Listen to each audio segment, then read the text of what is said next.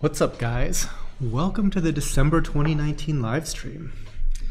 So, hopefully, y'all can hear me okay.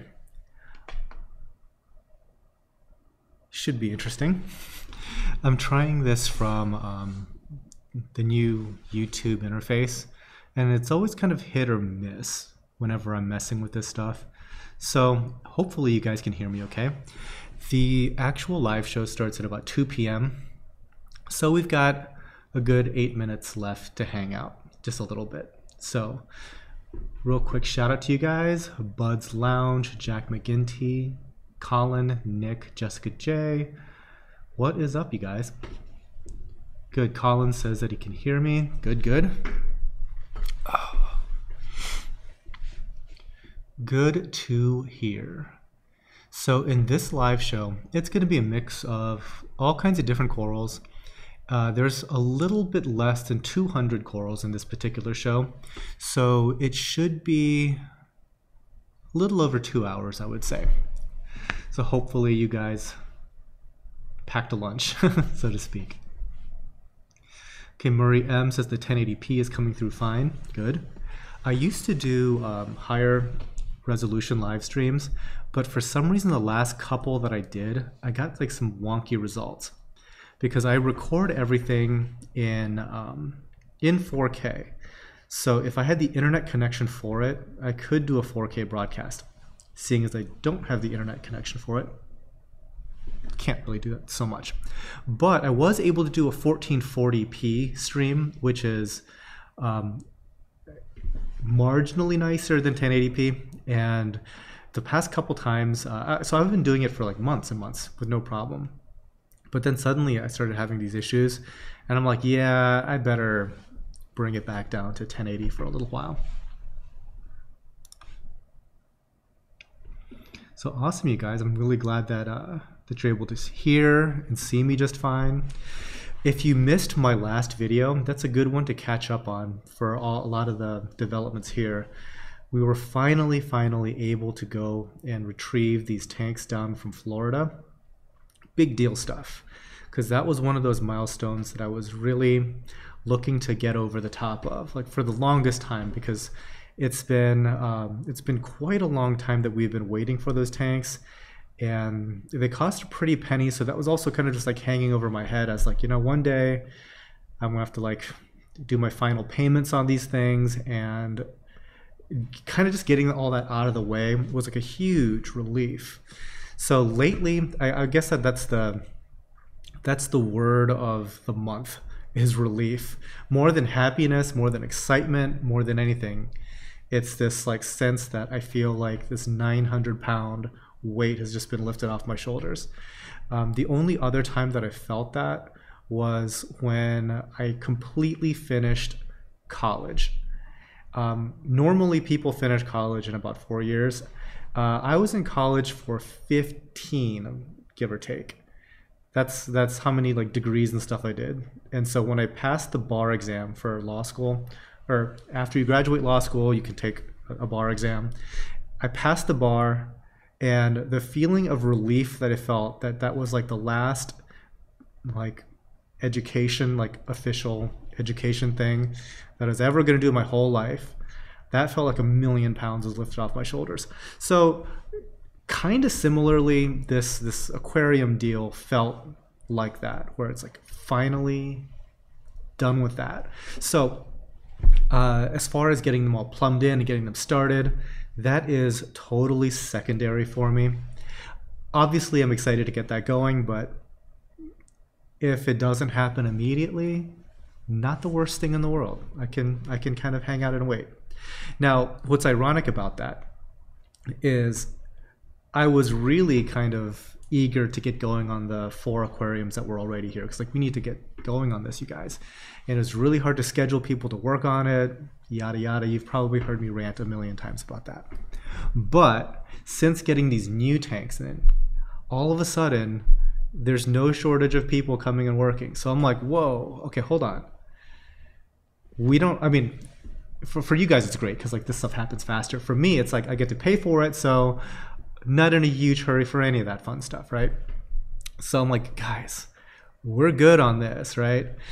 But nope, they're they're here like every day, every other day, chipping away at the at the plumbing project. Occasionally, like the plumber will come over with a new cart full of uh, full of plumbing parts, and I just look in there and I see all all the valves, and I'm thinking that's gonna suck to pay for. Because if you uh, if you guys don't know like schedule 80 uh, valves at any decent size over an inch and a half uh, they're expensive. They're between like 30 to 100 dollars a piece. If you, if you if they're really large they're like a couple hundred 300 dollars a piece. So i'm like can i just kind of like enjoy my time just looking at these empty tanks? But hey you know what come give me like a couple months and I'll be like itching to go again, I'm sure. Alrighty, alrighty. Let me get caught up on some of these uh, some of these comments. Uh, Eric Garza loves loves the content. Just want to say you've helped me a great deal. I appreciate it, Eric. I'm glad I'm glad that I was able to help. Uh, thank you so much for watching. Obviously. Um, let's see, Mario, new to reefing. Like your videos, awesome. Yeah, it's a, it's a pretty in-depth hobby. There's a you can certainly dive down that rabbit hole. There's there's a million things that you can learn. There's a million things that I still learn, even to this day. Uh, Mahai A. Fan, when will we see Will's tank again? Uh, that's a good question. So I plan on hanging out with Will sometime, maybe a little bit after the holidays. I'll see if I can stop over and actually see his house. Um, from what I understand, his his tank is doing quite nicely. B-ball vlogs 4K is overrated. Most don't have the bandwidth to even view. So there's there is the bandwidth issue for watching 4K, but there's also the fact that a lot of people nowadays, I would say about half, they watch on their phones. So I, I, I joke with some of my tech YouTube friends that that 1080p is the new 4K because people are transitioning away from uh, traditional like desktops and laptops in favor of mobile phones. So yeah, you're you're right in the sense that 4K is kind of overrated, but this camera that you're that you're seeing here is a 4K cinema camera, and it's pretty nice. So if if people have that ability to watch stuff in 4K, I say go for it. Reef dudes, what's up, Devin? Happy Saturday. Uh, Wayne Scott, how's it going? Mermaid's Reef, hello.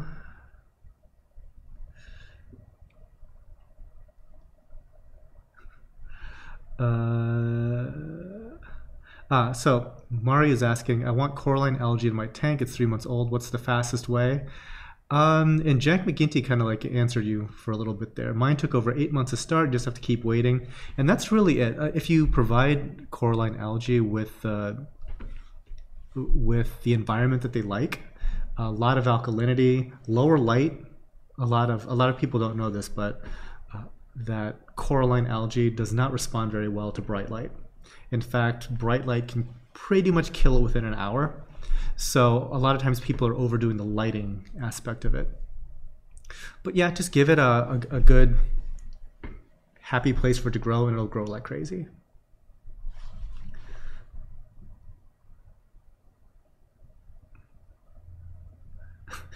Than, you're a true scholar. Yeah, uh, I might not be much else, but I'm definitely a true scholar. Been doing it a little while. All right, guys, two o'clock. Let's get going on this. So when I when I make the switch over, uh, it might glitch for a little bit. I've seen weird stuff happen. Bear with me on this. Okay, here we go. Okay, so hopefully that went smoothly.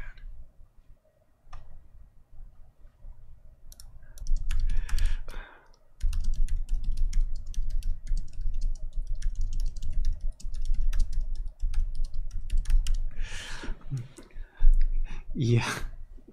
So it's probably back by now, but whenever I just do a, that scene change, this thing freaks right on out. So I'm like, I, I warned you guys, I warned you guys, so hopefully we're caught back up.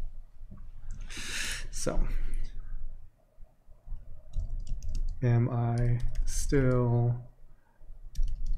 breaking up or is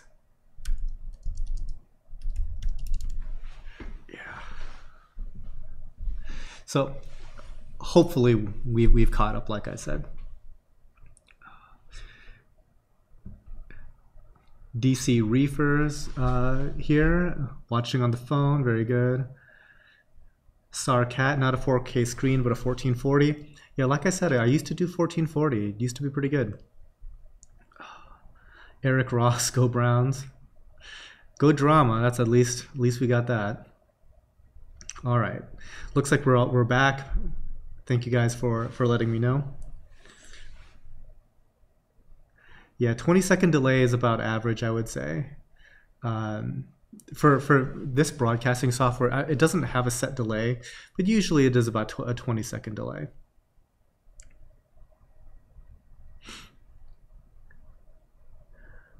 Good, good. All right, just checking the last bit of chat here. Okay, so Sarkat is asking, had uh, my first experience with a leather coral, just retracting its polyps for no reason for a few days. Now the colony is healthy and vibrant looking again. Is this, I read this is natural. Yeah, so leather corals and certain other corals that aren't necessarily uh, soft corals, they go through these phases, right? Where it's it's kind of their mechanism to get algae off of their body. So occasionally they develop this like waxy film and they completely close in, have this waxy appearance. And as long as you provide them enough water flow to kind of dislodge that waxy film, it sheds off and then they can fully open and grow even better. So uh, leather corals, especially like the big toadstools, sarcophytons and stuff like that, uh, they, they very regularly do that.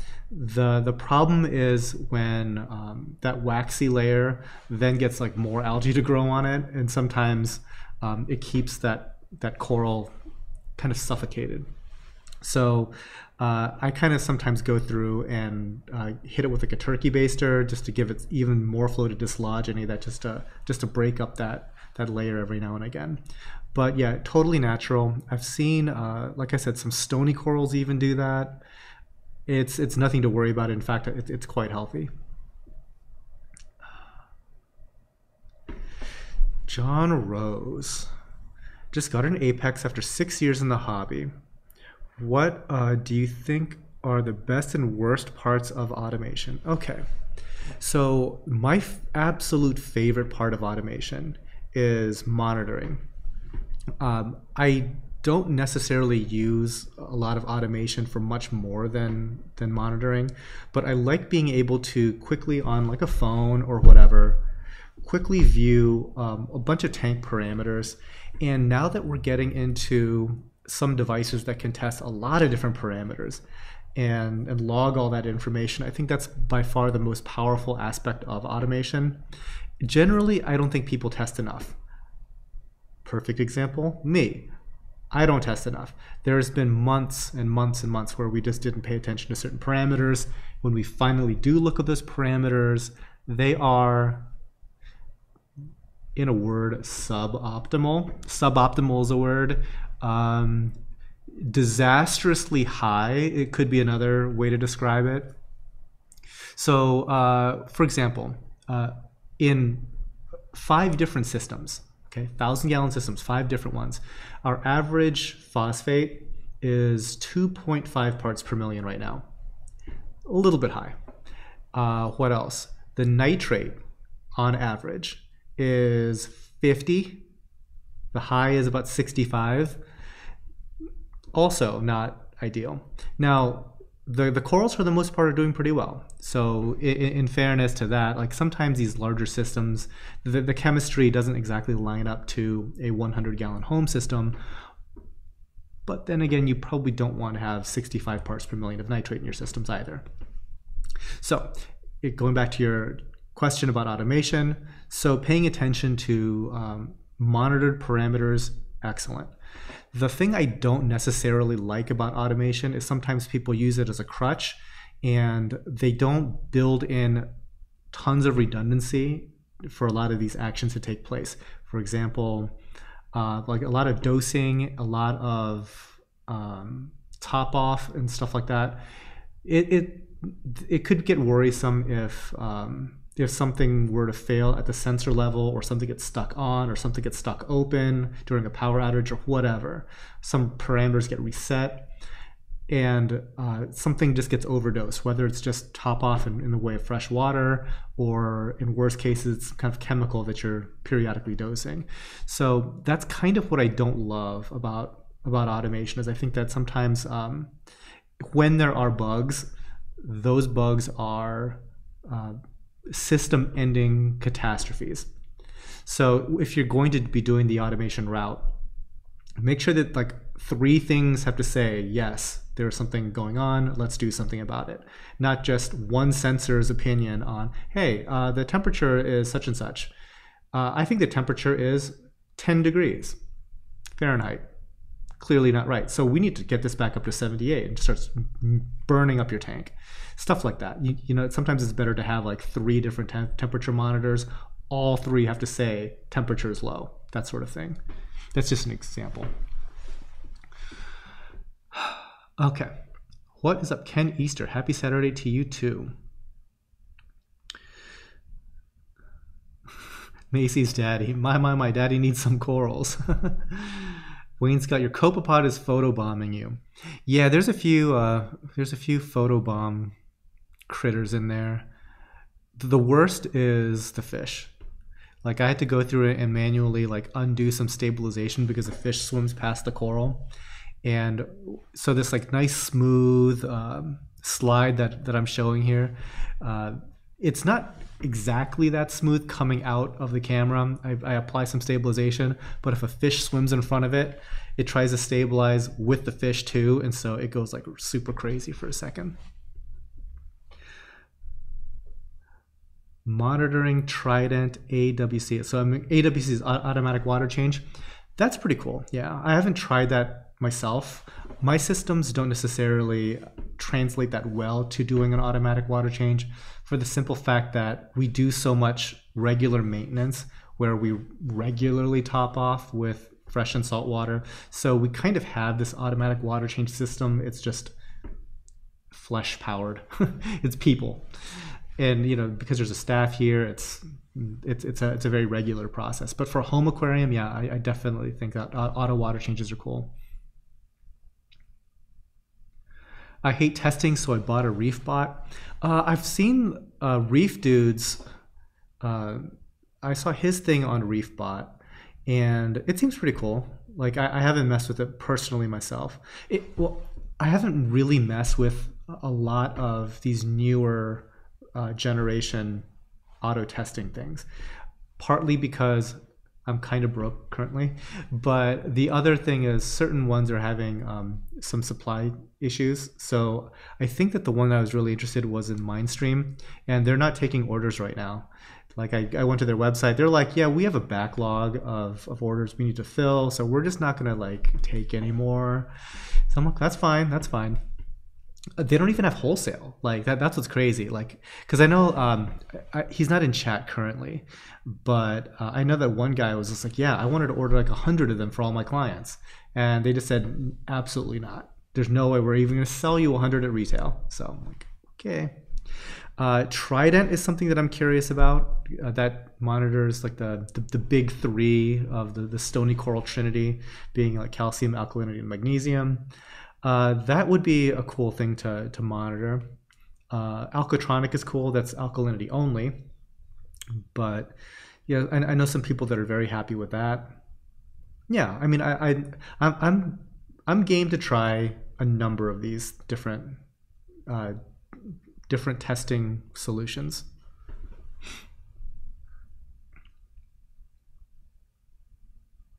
Okay, so Greg Reef Boy is asking, the corals you're showing today, are they under T5 lighting or LED? They are under T5. They look more colorful today. Or are you dosing aminos by chance? Uh, yes, we are dosing aminos. Now, some of these corals may or may not have been in a tank that we're dosing amino acids in, uh, but it also could be season. So a lot of them that if you saw like a few uh, shows during the summertime, they might be a little bit more muted just because of the seasonality. Now, once we get into like the fall and winter, a lot of these corals start to to really shine. Now, I would say that like the peak uh, coral appearance is is right around February. At least here it is. But um, I think as time goes on and we're starting to do a lot more farming in this new building under uh, a lot more consistent lighting, um, I, I, am curious to see how that compares. Because um, one of the, our guys here, Luke, he has stuff growing under T5s, but slightly differently than how we do it. And sometimes he'll bring back something that he has purchased from us and set it right next to what we're currently selling. And his looks completely dazzling in comparison to stuff, some of the stuff that we're, we're growing. So there's always room for improvement. Like, don't even get it twisted. Like, I don't think that there's any um, anybody out there that has like all the answers.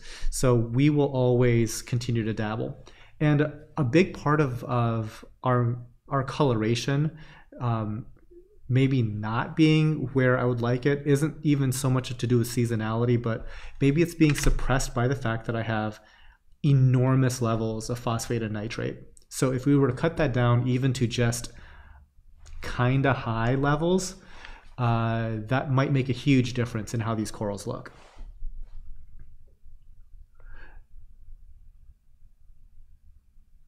Adam Moore says, running the Trident since February. Very cool. Cross checked with ICP and was spot on. That's nice. Uh, let's see. Nick Walters was interested in that, but heard they went out of business. Oh, okay. Adam Moore is saying, yeah, they, that they went out of business. So did, well, so did they go out of business or are they just suspending orders? Because like the website is still up. Um, Adam Moore is like, okay, 100% out of business. Okay, interesting. They ran out of money. That's a shame because it's like from everything that I've seen of the product, it seemed good.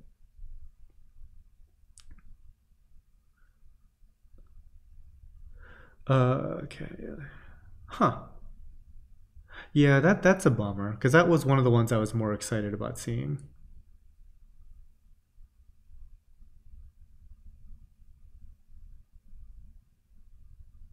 Sorry, catching up with some of the other ones that I may have missed.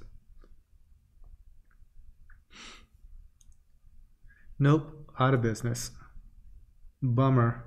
Well, it makes my shopping list that much more streamlined because I have uh, I have basically nine systems that that's going to be running here. So if I can save nine grand, not the worst thing in the world, right? Uh, Timothy, Than, are you excited about the Indo ban lift and why? So, um, I haven't heard exactly what the details are, but some people are very optimistic about it being lifted um, relatively soon. Um, the the funny thing is, we started this this entire building expansion before there was an Indo ban right? So like we, it wasn't any kind of like premonition of oh, what's going to happen is there's going to be this ban, and then I'm going to be in like prime prime state to grow all these Indo corals and such and such, right?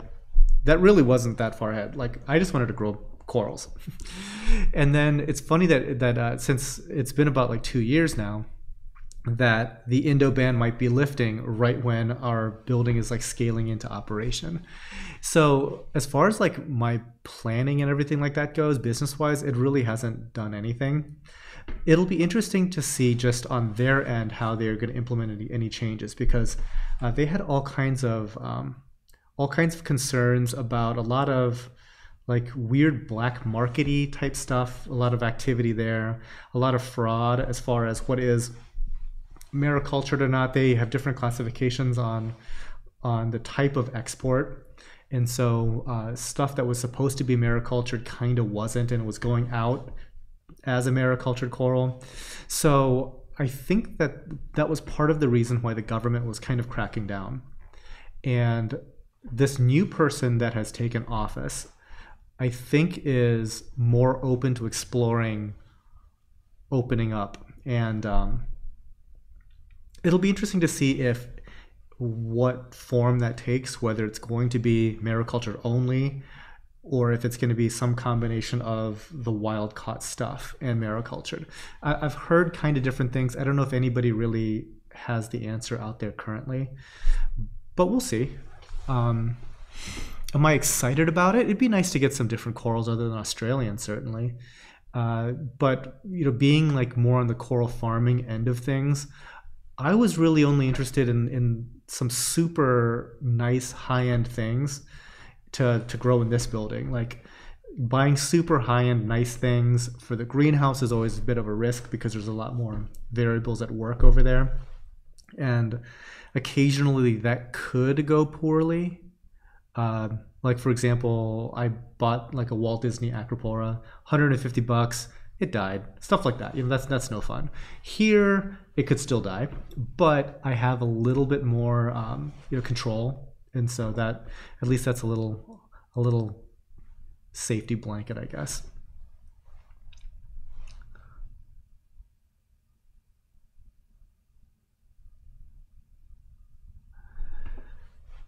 Ten mil and ran out of money.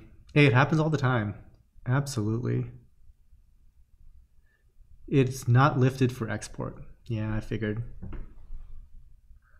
What what do you call sky high nitrates and phosphates? Um, well, my nitrates are at 50, 50 parts per million, and phosphates are at 2.5. Okay, I've got to take a quick break to the restroom. I'll be right back.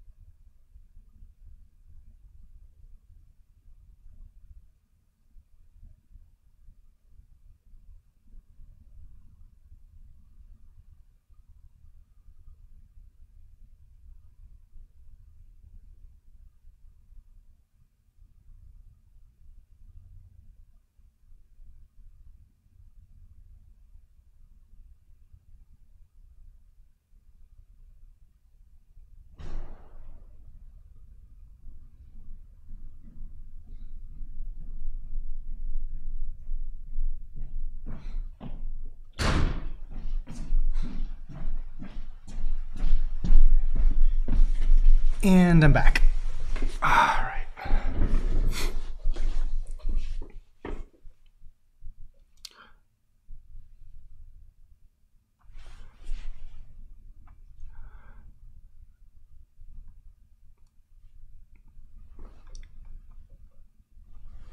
Okay.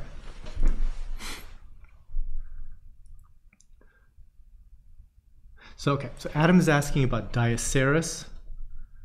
Been in the hobby for a long time, hardly ever see it for sale. Yeah, they're not that common, really.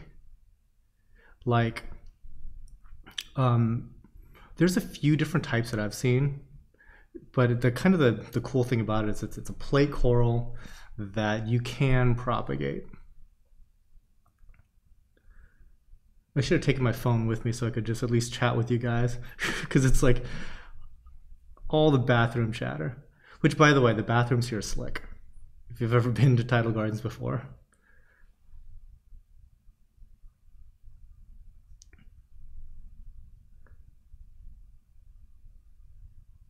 Uh, DB Reefer, do you ship to the UK? I do not.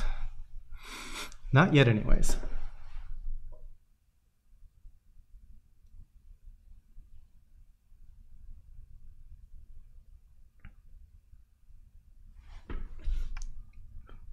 Definitely number two.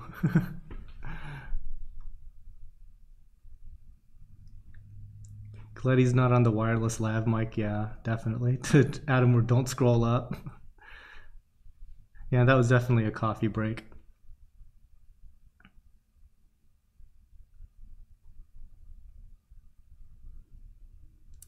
John Rose, CAPTCHA has me locked out of my account. Ooh. You know what? Let me um, send an email and I'm going to see if Ben is available because sometimes he can send you a code directly.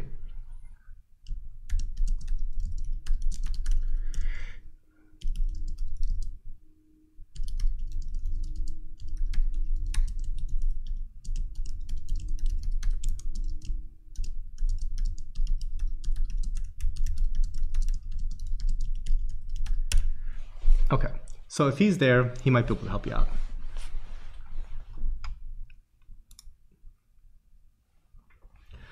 Okay, so Matt is wondering, do most common zoas actually contain palytoxin?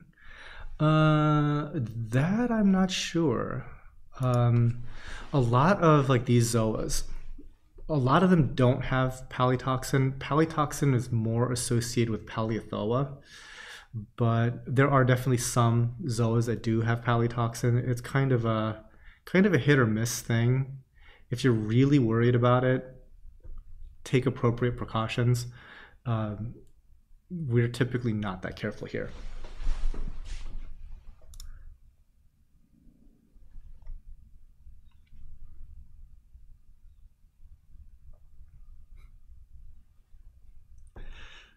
Dan, what brand of skimmer do you use on the toilet? Yeah. Uh, let's see. Who should I? Who should I? What skimmer company should I give a free plug to? Uh, I'm gonna go with Rossmont. so um, I'm gonna be doing some uh, a little a collaboration project with them in a few months, maybe. So uh, I'm going to be setting up like a non-photosynthetic tank, and they've they've got some some technology that might help with that.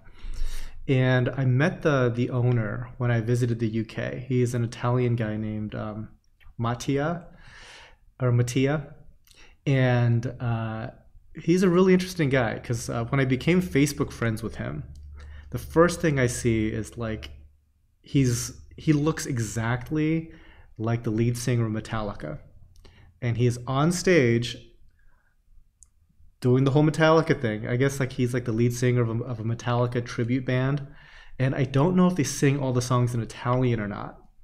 But it's like just see that visual. It's like, whoa, that's that is mind blowing. So anyway, cool guy, uh, makes a pretty good product from what I can tell, and so that's that's that's the skimmer, you guys. Okay, so tattooed dancer ninety one. Got my first mail order corals recently.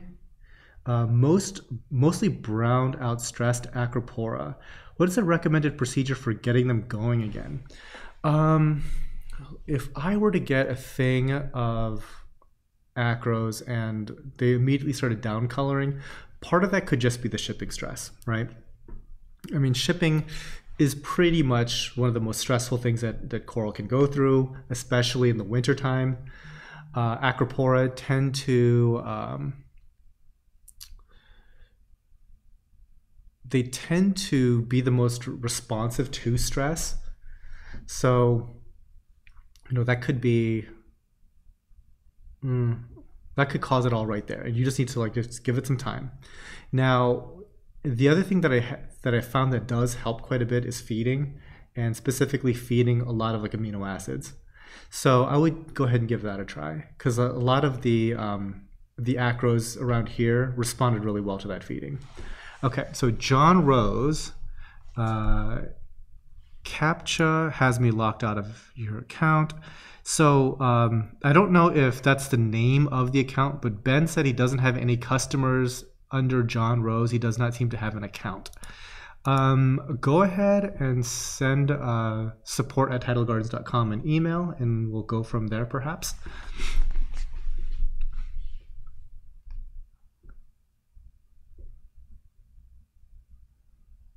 Okay, so Fan, what are the most rapidly growing SPS corals?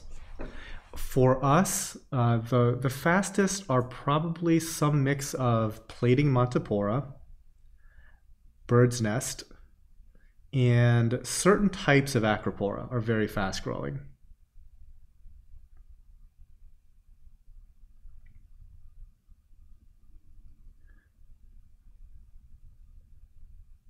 Keelan, hey Than, I'm coming for a visit to the farm Tuesday morning. Very excited. Awesome. Should be a good visit. Timothy, Than, I've heard CITES does not apply to soft corals and NEMS detached from live rock. Do you know if this is true? Canada's market is pretty limited. Okay, I'm not an import-export guy, okay? But I can tell you that the CITES stuff is specifically scleractinia, which is stony corals. Now, just because something falls out of CITES doesn't mean everything is fine because um, I, I, wish Laura from EcoMarines could. Fl- one of these days, I should just like do a podcast with her and and just do the whole thing and go over all the details because she does a lot of import export. So, from what I understand, there's like about five different things that are required, and CITES is just one of the five. So you still need health certificates, you still need import export permits. There's like a lot of these other things that have to line up. And just because something is not CITES doesn't mean, oh, we can just willy nilly trade in this. Doesn't quite work out that way. And it's a really good way to get stuff confiscated and get severe fines levied.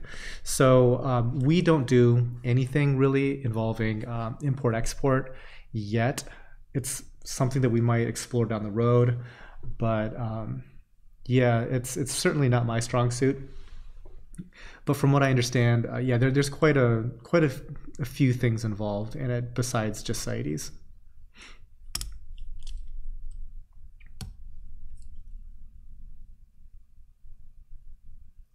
Maria Stark. Hey, Coral Emperor. By the way, I'm super excited about the Dune movie coming out next year. I'm to throw that out there. Uh, happy to see you in a more relaxed mood after many months of uh, putting together what might be the coolest coral propagation facility in the U.S. Oh, thank you very much. So it's funny, like people sometimes ask, like, why did you try to make this place so nice? It's not even open to the public. And it's like that's true, but you know who it's open to? Me. it's like I have to be here to do this work. My employees have to be here to do this work, and it's it's kind of funny because um, I'll, I'll, talk to like especially uh, some other store owners, and they're like, "Yeah, it's like I don't know why you decided to make this so nice. Like you have no retail presence, which is 100% true, by the way. They're not like they're not throwing they're not throwing shade. It's just true. So then I said, well, it's partly like also like a recruitment tool. You know, like I want to attract good talent it helps to get that good talent and keep them around if they're working in a nice environment. And then so this one guy was like, I do have a lot of turnover. and it's like, yeah, exactly, exactly, right? So these things pay dividends. It costs a lot of money to train staff and then just to lose them to somebody else. So, yeah, yeah. So I'm definitely going a little hard on the on, on how nice this place is. Stuff that does not show up in ROI calculation, but I, I once spent um, an entire year, I think, training six different people that year, and none of the six stuck around afterwards. So that was hundreds of hours, probably just kind of wasted.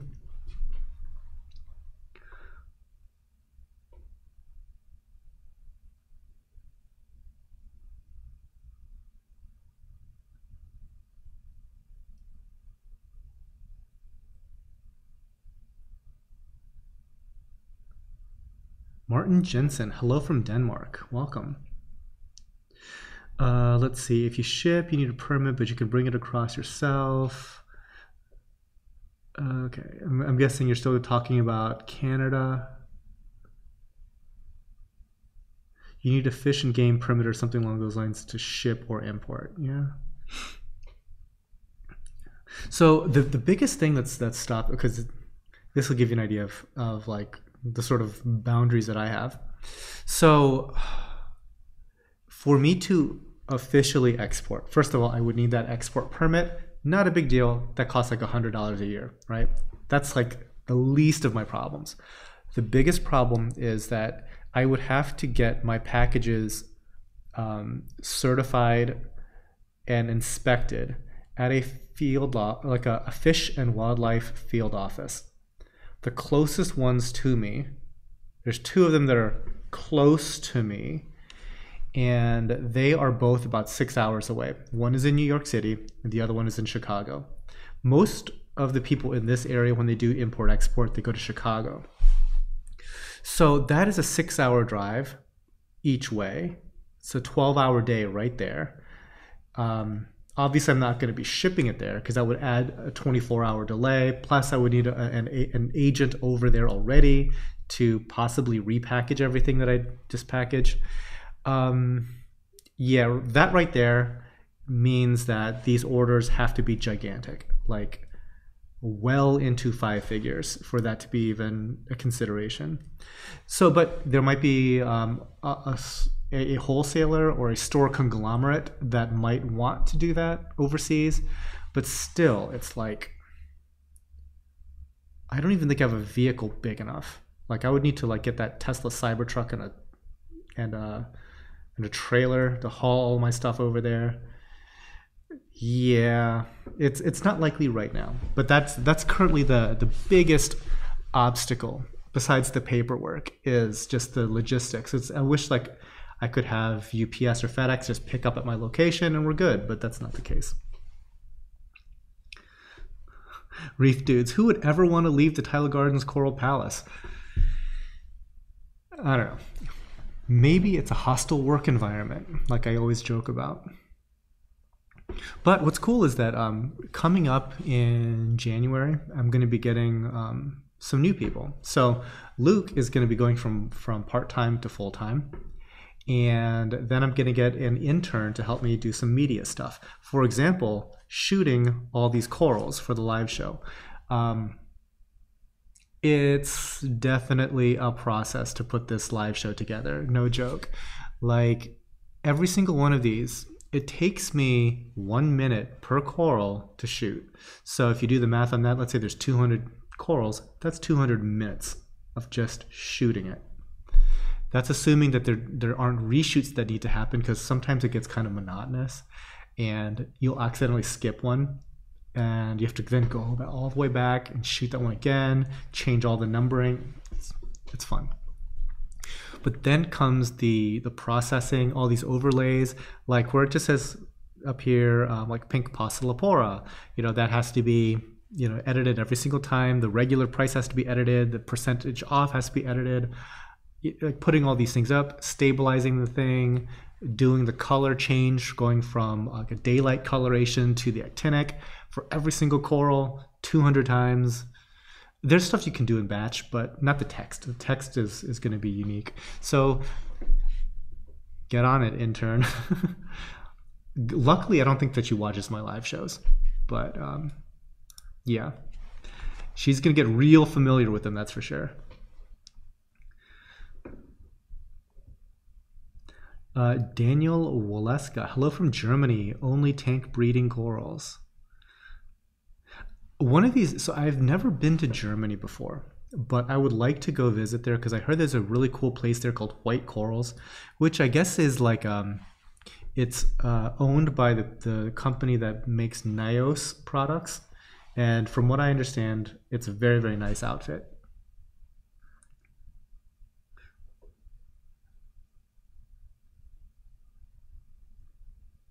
Okay, so Tattoo Dancer 91. Uh, Tidal Gardens. Are you going to go bare bottom in the new display tanks? Uh, funny you mention that. I was about to say if they were my tanks, they are my tanks, right? uh, but we're taking a little bit more of a democratic approach on this. Uh, the prevailing sentiment amongst the people that will spend a lot of time trying to maintain these tanks is that a bare bottom is much easier to maintain than a substrate. So although I would probably go in the direction of a substrate, um, I think that they would revolt. so it looks like we're going to be going bare bottom, at least initially. We can always add stuff in later if it if I really hate it. But I, I was I was thinking about doing the SPS tank with um, with a bare bottom just because there's like there's four closed loops there's an Abyzz return pump there's a lot of flow it might be kicking up a sandstorm. But in the uh, peninsula tank that's supposed to be a mixed reef well there's a lot less flow. There's only two uh, closed loops and uh, and obviously the return. Excuse me. So for that uh yeah, it's like I, I think that we could totally have pulled off a substrate in there, but I think that they're hedging towards no substrate whatsoever at all in this new building. So we'll see. We'll see how long that lasts.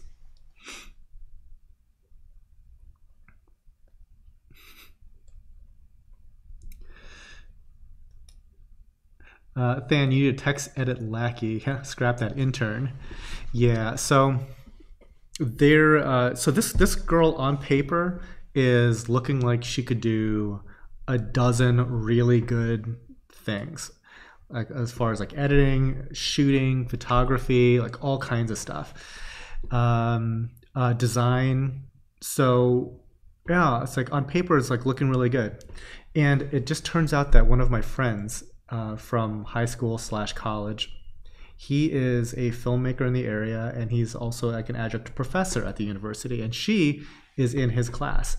And so when i asked um, when i asked my friend about about this intern he was like saying she is wonderful. She works she's like a really hard worker. There's some people in class that haven't done anything all semester but you're you should feel very lucky that you're getting her as an intern. So i'm like awesome. That's what i wanted to hear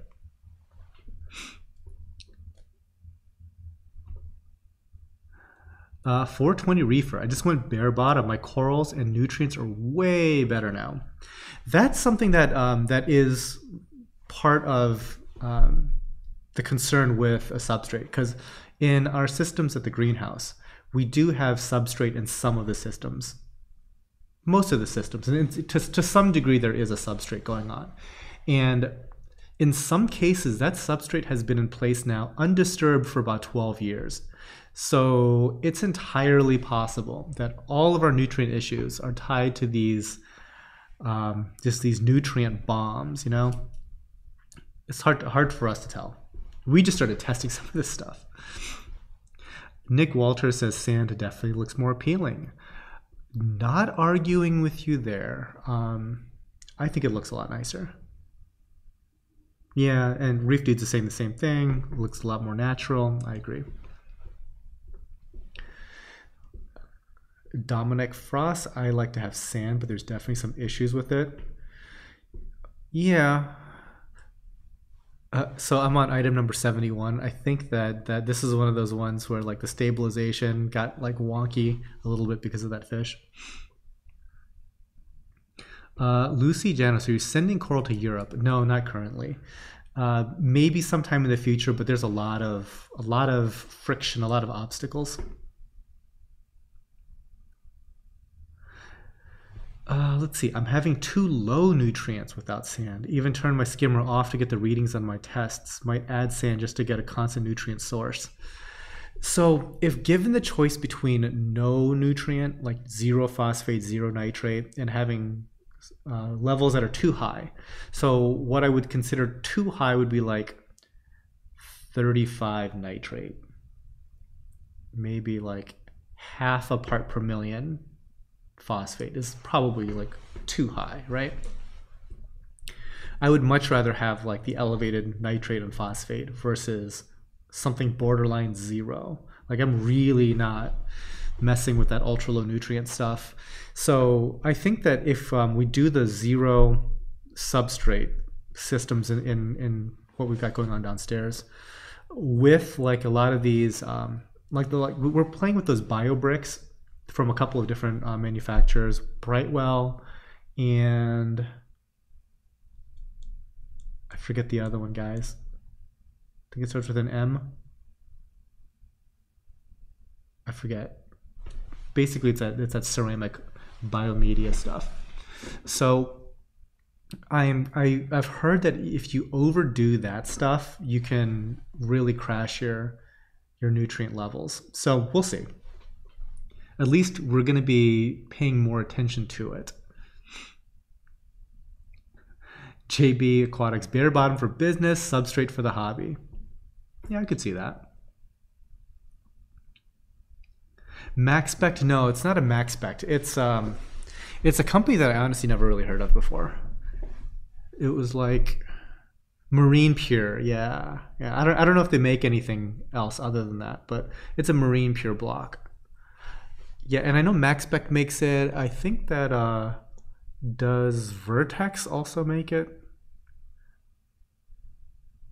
But yeah, I, I um I, I'm curious to try a, a lot of that because, well, obviously next door where we have all that elevated nutrient, perhaps we just don't have enough.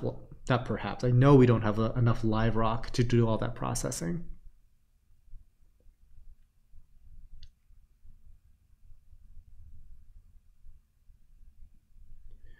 Uh, Nick is asking, do corals grow close to and on sand in nature? It seems that from the footage I've seen, most of the corals are on rocks, much higher off the sand. So is sand actually more natural looking? Um, yes and no. So yeah, there are definitely some corals that do approach the, the sand area. Uh, but I just I just think that like when I look at a, a tank that doesn't that's like the, like a bare bottom, um, it kind of has this like sterile artificial look because the ocean definitely does not have an ABS bottom, right? Or or a clean glass bottom. Uh, so in that sense, I think it does look a lot more natural. And also the, um, I, I think it contributes a lot to like the biodiversity in the tank. There's a lot of stuff that goes on in that sand bed that I kind of find appealing. Now, I, I find like a clean looking sand bed appealing. There's some really ratty looking sand beds out there. I probably have a few myself. I just don't look at it that often. But like a, a really nicely manicured sand bed, I think looks really slick.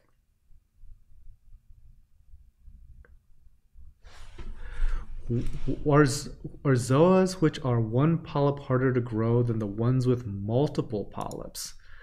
Um, no, not necessarily. I think that the issue that I run into with um, with zoas that are a single polyp is that there's fish and things like that that can kind of disturb an, like a single polyp, right? So stuff that would never really even mess with uh, corals tends to start if it's like a single polyp. So for example, um, we've got we've got fox faces. They don't really eat zoas. And there's plenty of zoas in that tank. But if we put like a fresh, newly glued single polyp in there, it's just gonna get chomped. So we typically don't like to even sell single polyp stuff because it usually just turns out bad. And we've had tangs that don't bother anything, bother single polyps of stuff. So there's that. Um, let's see. Gabriel is saying, I've got marine pure ceramic, ceramic balls, and every other day I see them release bubbles of nitrate. So they do work pretty well. I think that's the idea, right? So the, um, especially with larger pieces of that biological media, the inside is supposed to replicate the core of live rock. And the anaerobic process is trying to, like the anaerobic bacteria, the, the low oxygen state, is converting nitrate into nitrogen gas. So if you're seeing um, some nitrogen gas essentially gassing off from from those things that could be good. Now the other thing is if you just have some stuff uh, illuminated that could just be oxygen from from algae buildup. And sometimes we see that. So it's kind of difficult to say whether the, the, the, the bubbles that you're seeing are from like the photosynthesis of algae or whether it is the um, I was about to say ahermatypic, but I don't know if that's the right word. But low oxygen anaerobic bacteria cycle happening on the inside of these things.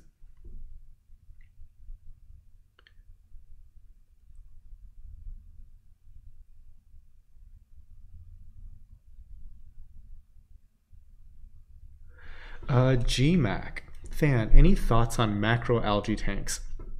So I like them in theory. Uh, I, I, like the way a lot of different uh, decorative macroalgae look. Now, my problem, I guess, with uh, with like refugium type systems in general, is that it, it kind of prevents you from keeping certain kinds of fish, uh, specifically like herbivores. So what tends to happen, at least in, in some of our refugium type systems, is that we'll get some kind of like problematic nuisance algae with no really good way to control it. Uh, I suppose like some certain snails and stuff like that could work, but some of them are macroalgae that we don't really want, like Valonia, for example. And so it would be nice to put like a fox face in there to control Valonia, but you can't because they'll eat all the macroalgae.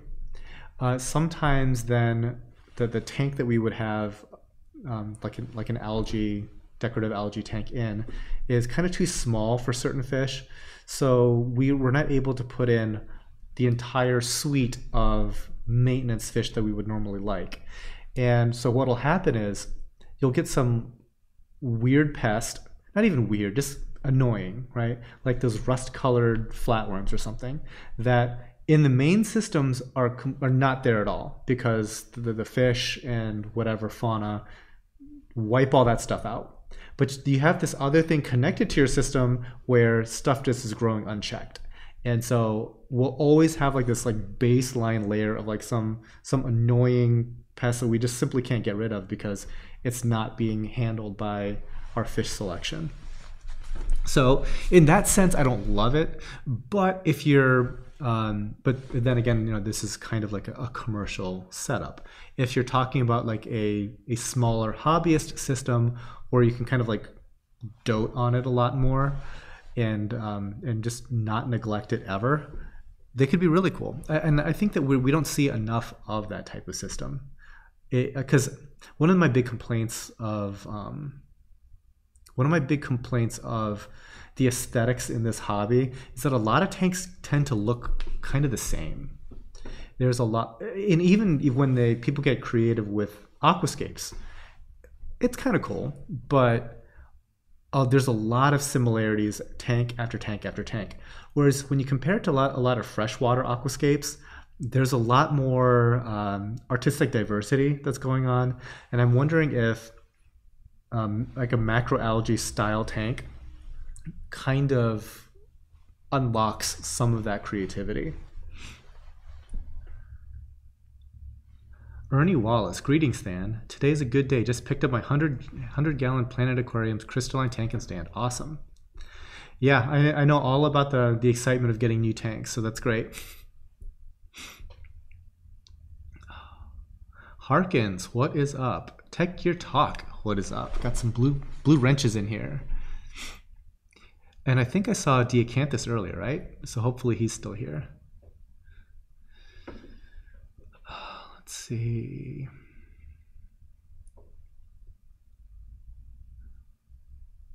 Uh, Nick Walters, fan, any advice on getting Lobophora algae out of tanks?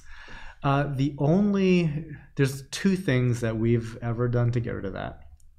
So the first thing is to peel it off because Lobophora does peel off kind of nicely. The other thing is to take the entire rock out and just kill it. So there's no, uh, there's no like fish or invert that I know that really takes out Lobophora.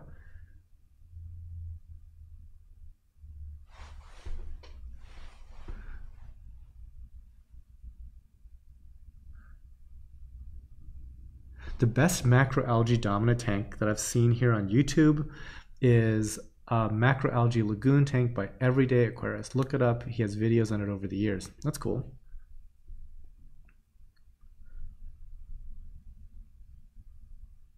Harkin says, sorry, I saw you had problems earlier. I don't think so. I went to the bathroom, that's about it.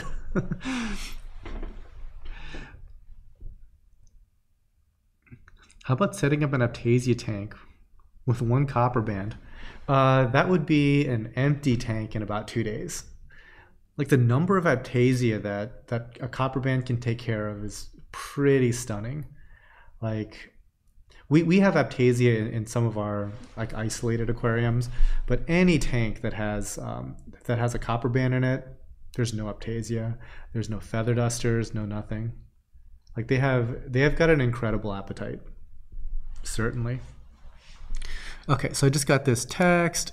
Looks like John Rose has been taken care of.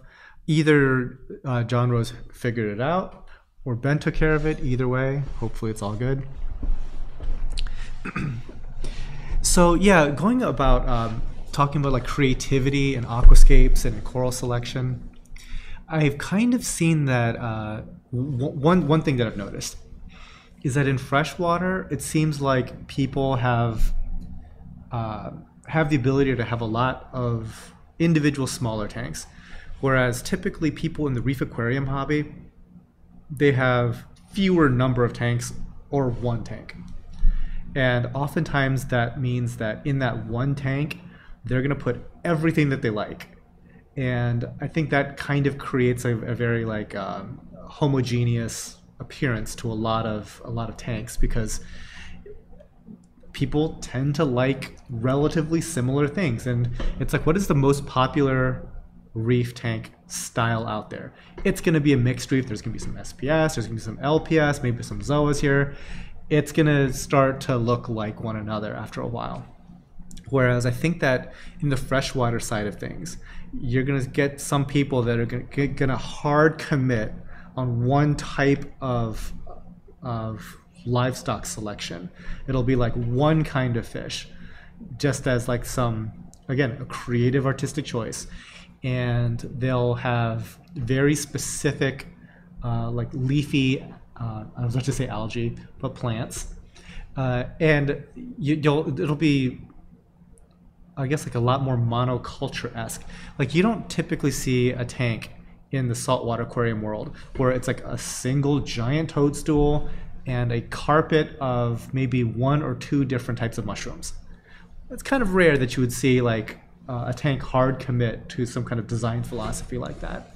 Instead, it'll be more like these are my 50 favorite corals all in my tank.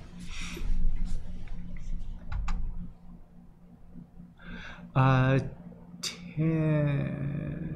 Oh, you had to hide someone is what I meant. Yeah. So you know what? I, I it's, it's been pretty good. Like I, I typically haven't. Well, depends on how you how you define good. I actually enjoy banning people. So in, in that sense, I've been kind of like out of practice. Like back in the day, guys, you have no idea. There used to be like an average of five people getting permabanned on, on this live chat. Like every single live stream, like five, like five people on average. I even had like um, you know like friends coming come over, and like one of my friend, my, my one of my vacation friends, Suzanne, like she was uh, she was doing like chat moderation that day, and I think she she personally banned like five dudes, like boom right, right off, and PSA, if you get banned on this channel, you will stay banned forever. There are no joke like companies that are banned on this channel. It's hilarious because like I was uh, over in the UK, right? And there's like a major um, retailer. I'm not gonna name them by name, but it's a major retailer there. And I'm, I'm visiting Eco Marines, and I'm like, and we saw like their booth. I was like, hey, those clowns somehow managed to get banned on my channel, and I don't remember what they did. This was years ago, but they're totally banned. And she was like, that can't be them because they got like they got like eight accounts. I'm like, funny you mentioned that. And I, there's like a bunch of them that we've banned. So like they went hard on like a whole bunch of accounts. We banned all of them. so that's like so imagine like bulk reef supply in my chat talking stuff, right? And I, and I banned bulk reef and I banned all their bulk reef people. That's kind of what it was like over in the UK. So anyway, that's my little aside. If you want to hang out, cool. If you want to, if, if you do something to get banned, goodbye forever. That's gonna throw that out there. That's how that. That's how this works. And trust me, I enjoy banning people way more than they enjoy trolling me. So it's part of the culture. There's no timeouts or anything like that. Like all these people with blue wrenches, I think that they've heard the story before. But you don't have to give anybody timeouts. If you see something pop off, ban them forever. Okay.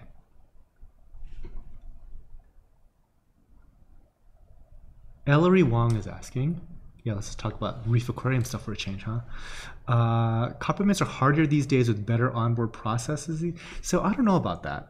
Like I know that uh, from what I understand, like the the whole fish import side of things is really rough, like really rough. Uh, talking to eco marines, like she's got like all kinds of stories, and there's like entire species that she just avoids altogether. Like she doesn't want to do anything related to um, like leopard wrasses, and I love leopard wrasses, but she's like, no, you don't want leopard wrasses. Like the way that those fish are treated, it's like disgusting.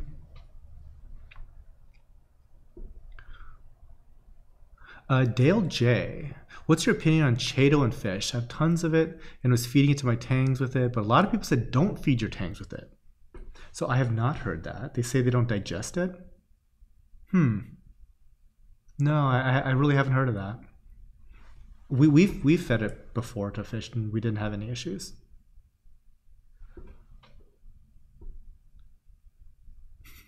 yeah, Monnier McNamee. Then there's Nathan Stank. Yeah, going back to the jam it all in there. Yeah.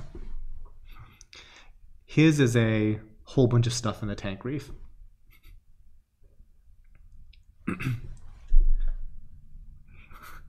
Harkins Aquatics. Lol, I smashed many trolls on this channel. So, so Tech Gear Talk, um, one strike policy. So, I, I was I was around for when his channel started, and I remembered like you know because when you start off, you have a low volume of chatter going on and he he does like technology reviews, camera reviews, and some for whatever reason people go overboard when it comes to cameras. Like they are on Team Sony, they are on Team Panasonic, they are on Team Canon, and it's like it's like Ohio State, Michigan every week. If somebody like posts something nice about the other camera companies out there, and they would be like the first like thing that they would say in a comment is "f you." You Canon, blah, blah, blah, blah, blah, right? Tech Gear Talk would spend nine comments going back and forth with this person, politely, killing them with kindness. And at the end of it, that person would be like, you know, I'm sorry. I don't know why I, I flew off the handle like that. You've got a great channel. i will be a subscriber forever. And he would just keep doing this, like, you know, just killing people with kindness, you know, like super. And I'm like, listen, dude, this is not sustainable. You need to ban people and move the F on with your life. And I think it's fair to say that he's he's he's on board now. Cuz no, no, no, no. You, you can't you can't make everybody happy. So, anyway. Uh, yeah, I, I, I talked him out of being a good person. You're welcome. You're welcome. DJ Doret. Man, I'm a coral farmer from the UK and I'm glad you have not banned me. I don't even know what they did. Like, to be perfectly honest, I don't know what them and their whole squad did. But all of them got banned. Those crazy UK guys. Sammy J, you're the one reason I started a saltwater tank. I'm from India. Awesome, awesome.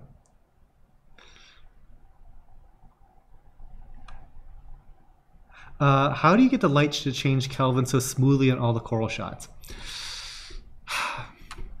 it's a special effect. Now, uh, I could do it as a practical effect once we switch over to LED and, and actually shoot under LED. It's just not worth it. Like, it'd be tough to do as a practical effect for every single coral. I think it just it would drive everybody nuts to see the coral, the, the colors constantly change every single minute like that. So no, I it's a it's software. So it's an approximation of what it should look like. Uh, it's it's not perfect, but you get an idea. Uh, Tattoo Dancer, when do we get an update on Will's tank? Will's got CEO problems. Like I, I haven't seen Will very often. So, but I, I will be seeing him hopefully in the next few weeks. Hopefully, I'll, I'll get a chance to hang out with him and, and shoot some video of his tanks. Like I said, uh, from what I understand, his tank is doing very nicely.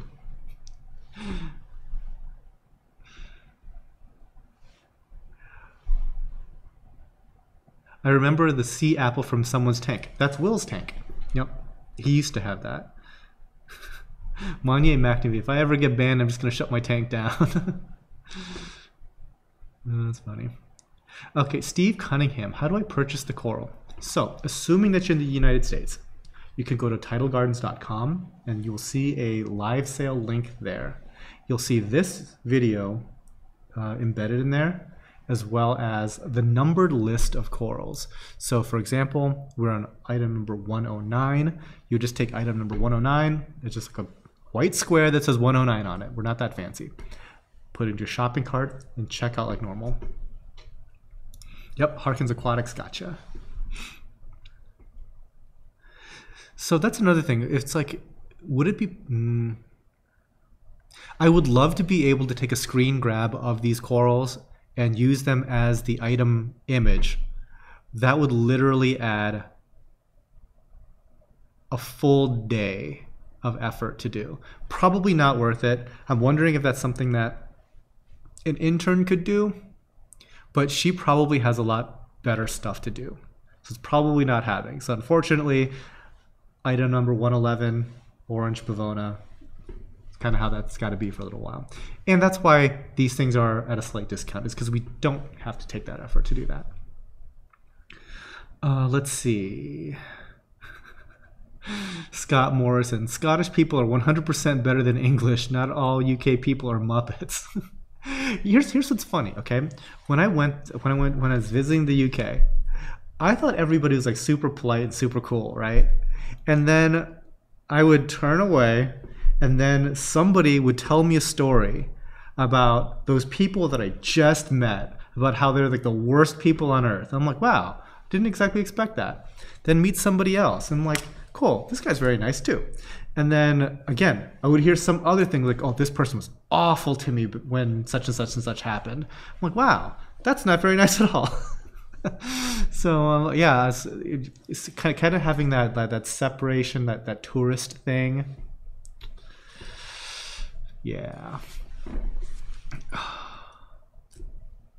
Uh, so Dale J, uh, going back up the, the comment ladder. So I'm in the state just below you. Do you let people come to visit your new building? Yes, by appointment love to come visit and show me your business. Sure, yeah. Just uh, get in contact with us whenever you feel like you uh, want to get in the area. We'll set up a time.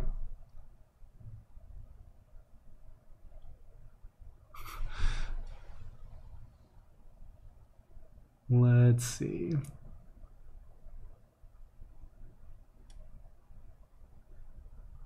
Okay. John Rhodes said, I paid for shipping on my first order. Once I buy 250 in Coral, will you guys remove the shipping or refund it later? We will refund it after the fact. Yep. Yeah, some people um so the, the way that shipping works is it's free after $250. Um, sometimes people purchase multiple instances of shipping, we refund it all. So no worries there. You're taken care of.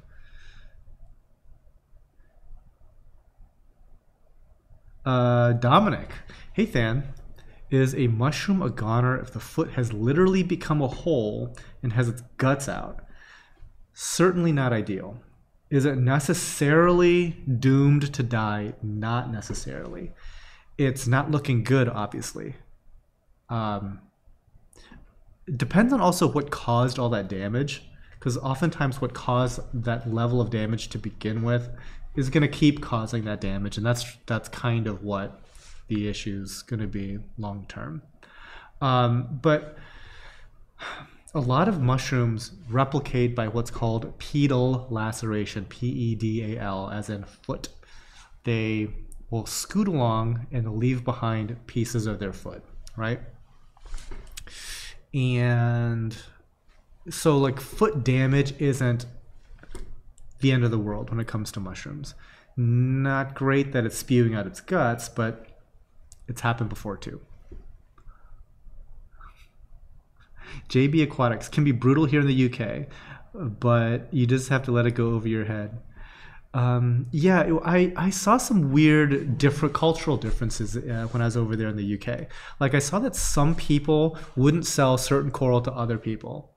Like for example, uh, let's just say that this carnival favia was like the best thing ever, and everybody wanted to propagate it, right? To get to bring it in and, cop, and propagate it. That would be like uh, me being unwilling to sell it to cherry corals or something like that or i wouldn't sell it to worldwide corals because i'm going to like somehow protect the fact that i'm the person that's growing this this favia currently. That's like that's not how that works at all guy. It's it's gonna get into the hands of all these people. If they want to buy it from you at retail sell it to them. Whatever. So that was one cultural difference that i noticed. Another cultural difference that i noticed was um, when we were at a trade show, uh, people were really antsy about um, filming trade show displays.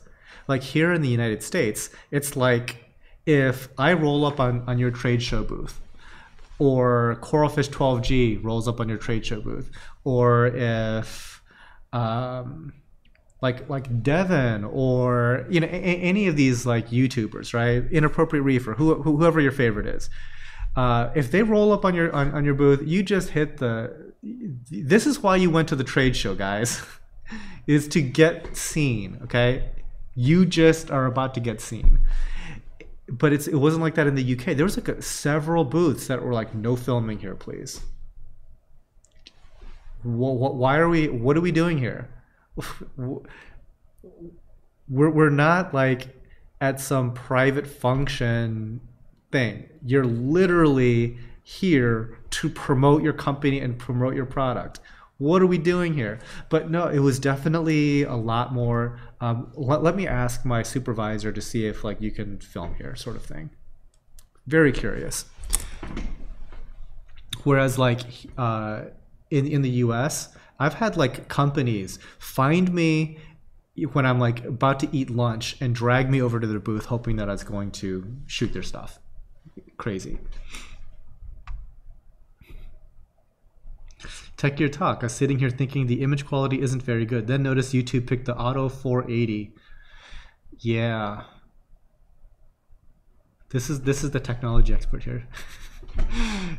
yeah, exactly. He, has got he's got a fiber connection, and, and YouTube is like, nope, you get 480. Uh, Greg Reefboy, do you sell colonies as well? Uh, yeah, it'll be more on the um, it'll be more uh, like as a regular website item rather than on the live show uh, for the simple fact that they take up more space typically and we we've noticed that more people are interested in frag type stuff for this particular live show like occasionally in the past we would have like uh, like Scolys and stuff like that. And I can count on zero fingers how many times we would sell some like the, the, the bigger budget colony type pieces. But on the website, they get gobbled up like Halloween candy. So time and place for everything, I guess.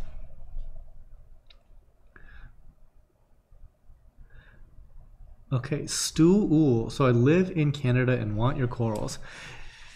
Yeah, a lot of a lot, a lot of Canadians are interested. Um, so unfortunately, we're not very well equipped to do the import export thing, and I don't know enough about it to really give you good advice on that. But generally speaking, if people want to buy our corals and take them to Canada, we don't mess with that at all especially if it's a stony coral stuff that you would need CITES and, and import export permits for. I'm not your guy, unfortunately.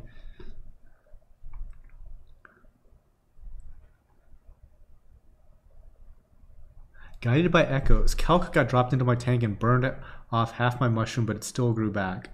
Yeah, says Dominic. You, I mean, you might have, um, you might have some cause for optimism, but it's certainly a little rough. Yeah. What number are we on?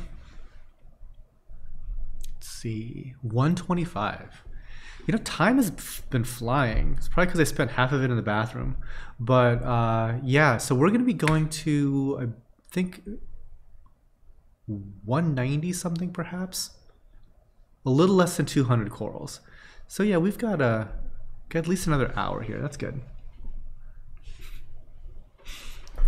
So, so stool, uh, there, there might be a future where we do some import export, but currently we're kind of preoccupied with uh, getting this building up and running. And I would love to like bring in somebody that knows like how to do good import export and just say you are the international division. Go crazy. Okay. Tattoo dancers opening up a can of worms off topic how great is the mandalorian show i bet dan is a fan uh, am i a fan of the mandalorian show i think it's okay I think it's okay. Oh, and here, here we here we go. Like all my sales are gonna drop to zero after I say something bad about Star Wars. But I'm kind of not the biggest fan of like this new generation of Star Wars. Um, but I will give the Mandalorian uh, show some credit to, to, to, to, the stuff that I think that I like about it. I think it's a, a pretty polished show. It's a little campy, which is you know it's it's it's a design choice right? It, they didn't. They they've definitely decided not to go like extra gritty with it or anything like that, which is which is fine. You know, it's a, it's a Disney show. Um, what I kind of struggle with is that there doesn't seem to be a main central narrative that gets injected into every episode. So for the first few episodes, I definitely felt that, but for, the last three, I really didn't. So it felt kind of like. Uh, like the it was like a slice of life narrative and i think that works a little bit better in certain stories um, it kind of works in mandalorian and I, I do i just think that it's been done better in other things like for example i think that if the mandalorian was star wars cowboy bebop i think it'd be like phenomenal right but cowboy bebop kind of has that that um, I mean, it, it's a lot better. just, it's just better, but it, it, had a lot more grittiness to it. It had a lot more character development in it. But they they really did that that episodic thing really nicely. Whereas in the last couple of last three specifically of the Mandalorian, I didn't think anything was really going on but uh, it's pretty good. I mean, there's there's way worse shows than The Mandalorian. I mean, who am I kidding? There's a lot worse. Now, the, the show that I am all over is Watchmen on HBO. That's what's up. And yes, Baby Yoda is very cute. Uh, the practical effects are good. I agree with that. Uh, it got my wife into the entire series after never watching Star Wars. It's way better than the, than the latest uh, batch of movies. Like I- I'm, I'm kind of not all that thrilled with the, the, the current trilogy, but no, it's definitely better than that. Uh, Nick, do you ever trade with locals? Uh, yeah, we do. So, um, yeah, de- uh, obviously, depending on what you have, it looks like you have uh, a Warpaint Homophyllia. Sure, we could do trades for that. Uh, what the heck is Cowboy Bebop? No, Gabriel. Okay, what I would give to rediscover something as good as Cowboy Bebop. So, Cowboy Bebop is uh, a 90s era anime series. It is, for me, anyways, it's, it's in the top three anime series ever created. It's so good. It's so good. Marcus really is 187. What is up? YouTube notification reminders is fired. Oh no. Yeah, Gabriel. So if you're into anime at all, at all, you have to check out Cowboy Bebop. It's sensational. Jeremy Phillips. I said the same thing on Cowboy Bebop. Totally agree. Yeah, dude, if Mandalorian just was a straight live action rip off of Cowboy Bebop, fan for life. It, it, it plays itself into that type of, of thing, right?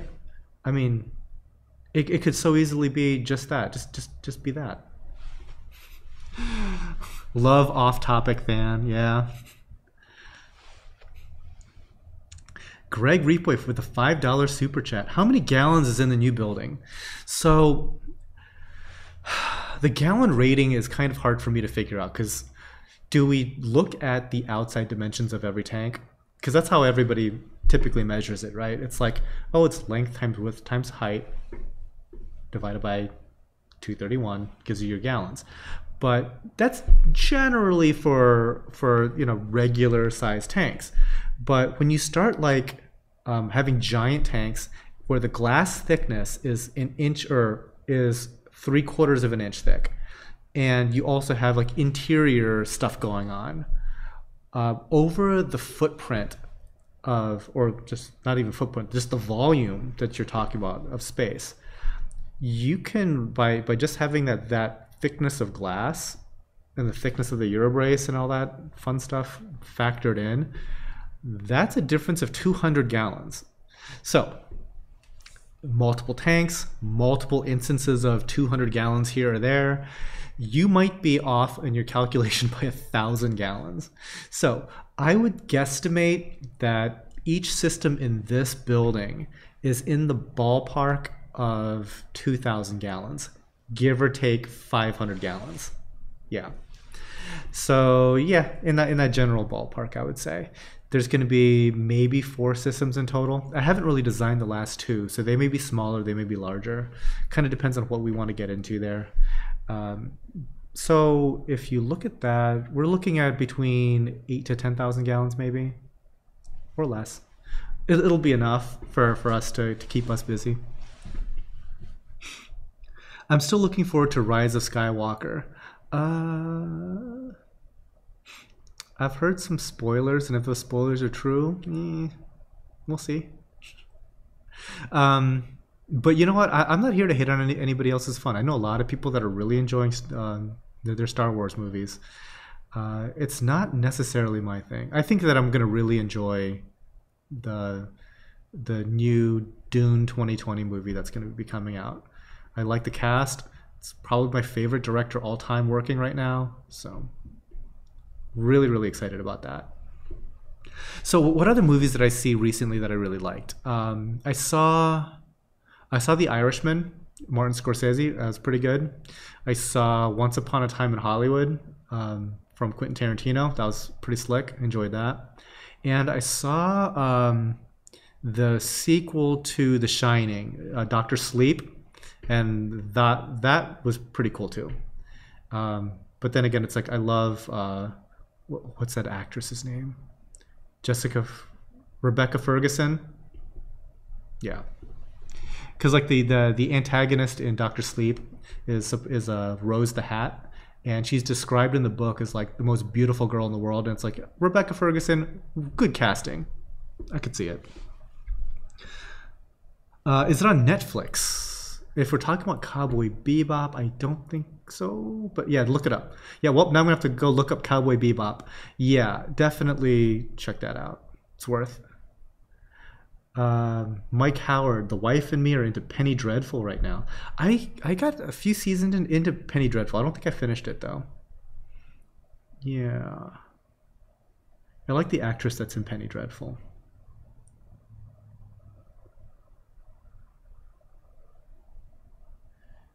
Uh, Mike Howard. It's a shame that it was so short lived. Not sure what you guys are talking about.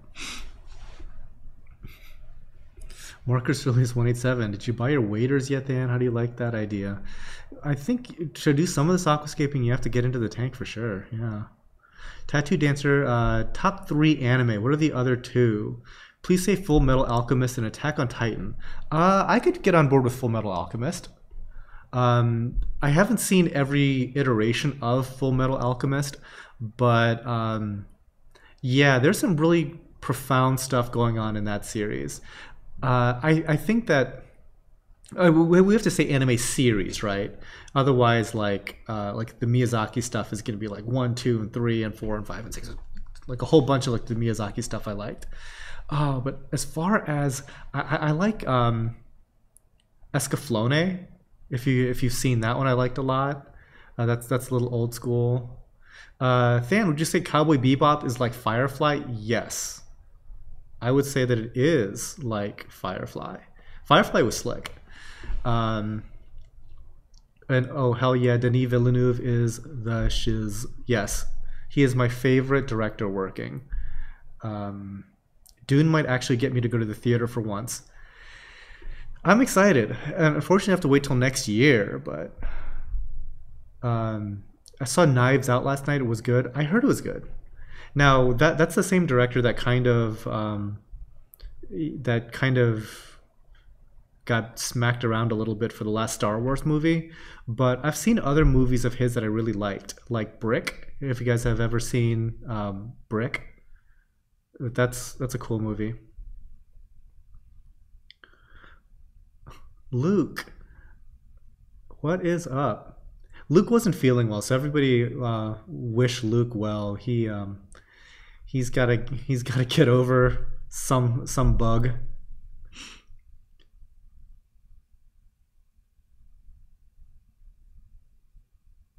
Yeah, I've heard. Yeah, I've heard good things about Knives Out. I don't know if that's the type of movie that I'd go see at a theater, though. You know, it's like I, I imagine it's very dialogue driven. Okay, Cowboy Bebop is on Hulu. That's cool. I don't know if you can see. oh, so I didn't ever answer the question about like what are my favorite anime series, but yeah, Full Metal Alchemist is way up there. Escaflowne is up there. Um, shoot, Cowboy Bebop might be my number one. Um, so here, you know, I'm gonna throw Robotech up there, and I'll be the first to admit that is purely driven on nostalgia. Because I bet if I went back and watched Robotech now, it is not gonna hold up. Uh, what else did I like? I like One Punch Man. What else is good? What else is a good good anime, guys? Oh, Vash the Stampede, uh, uh, Trigun. That, that's a pretty good one. Yeah, I, I enjoyed that. Um, Gabriel, our favorite show right now, period, is Rick and Morty. Uh, so Ben, the, the guy that works here, he is hard into Rick and Morty. He's always like, "You need to watch this. You need to watch this." I'm like, "Yeah, I probably do." That's exactly right up my alley. People come for the corals and they stay for the for the anime chat, huh? Uh, John Rose, I'm running four AI Prime HDs on the 120. If I get some acros, do you think I should start them at the bottom, move them up, or just put them in at the top to start? Uh, you can fry acros pretty good. Even though they are a light loving coral, you don't want to shock them. So I would probably uh, acclimate them slowly to light intensity. Because if it, if it goes bad, it'll go bad, bad quickly.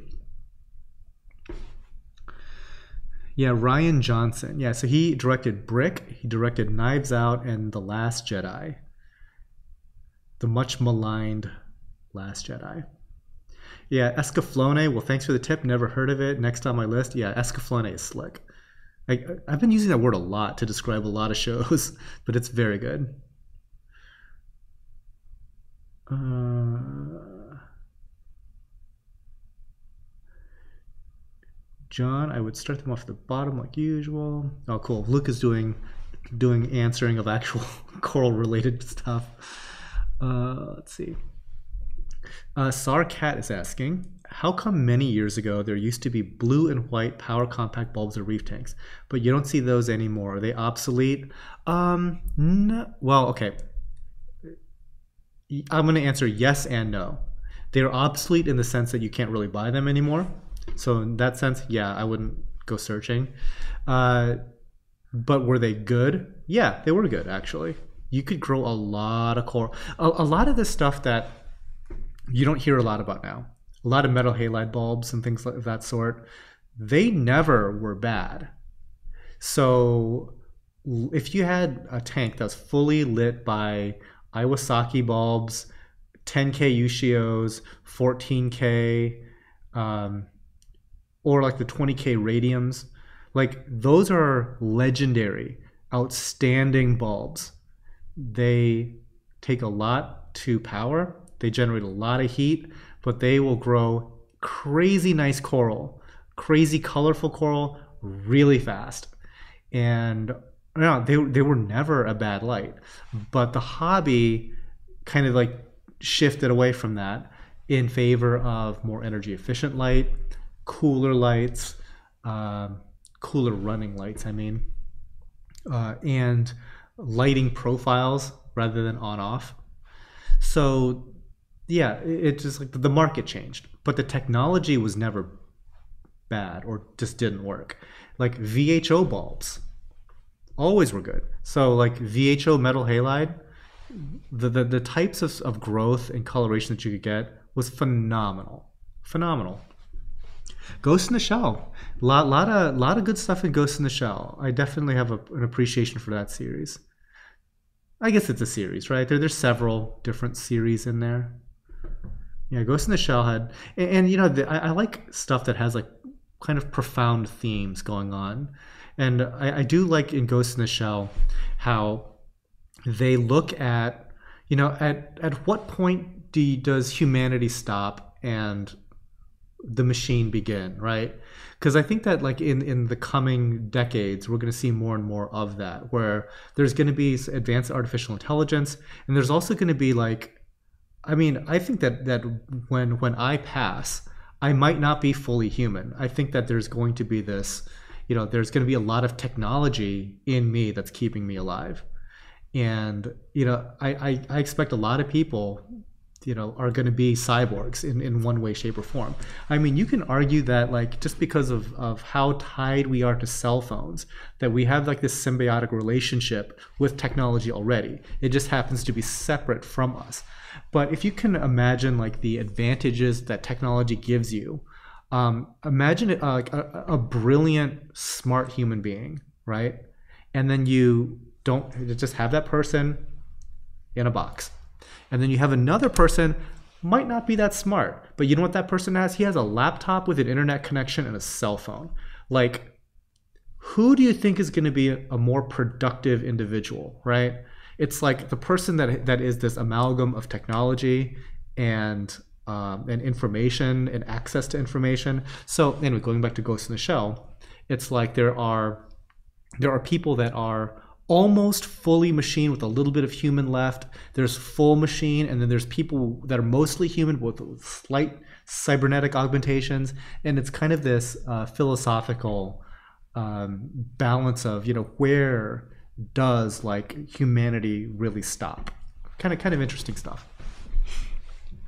Uh, Marcus Aurelius, Princess Mononoke was an interesting anime. I agree, and I, I like Miyazaki anime stories in general because they play a lot in, in the gray areas, like morally gray areas, and I appreciate that.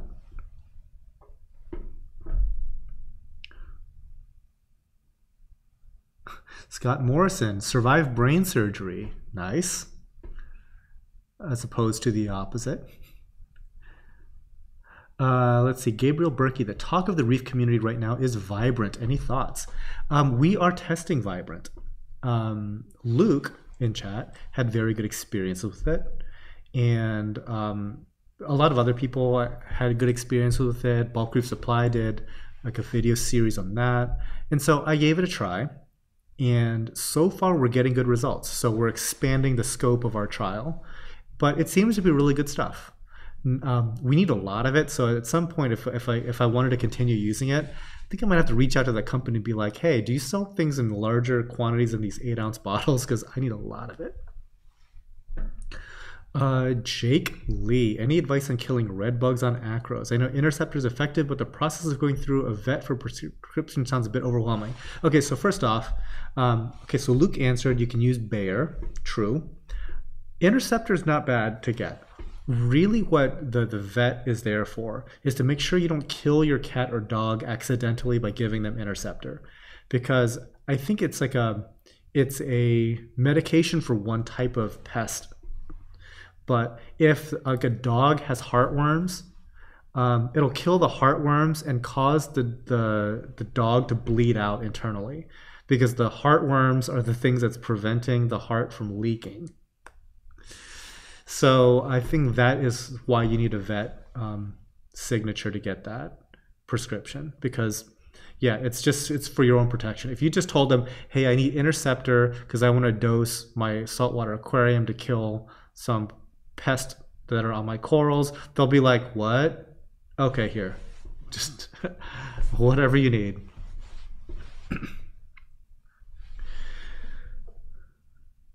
Uh, Dominic, hey Dan, do you like Reefroids? Just need to have my final thing to buy them.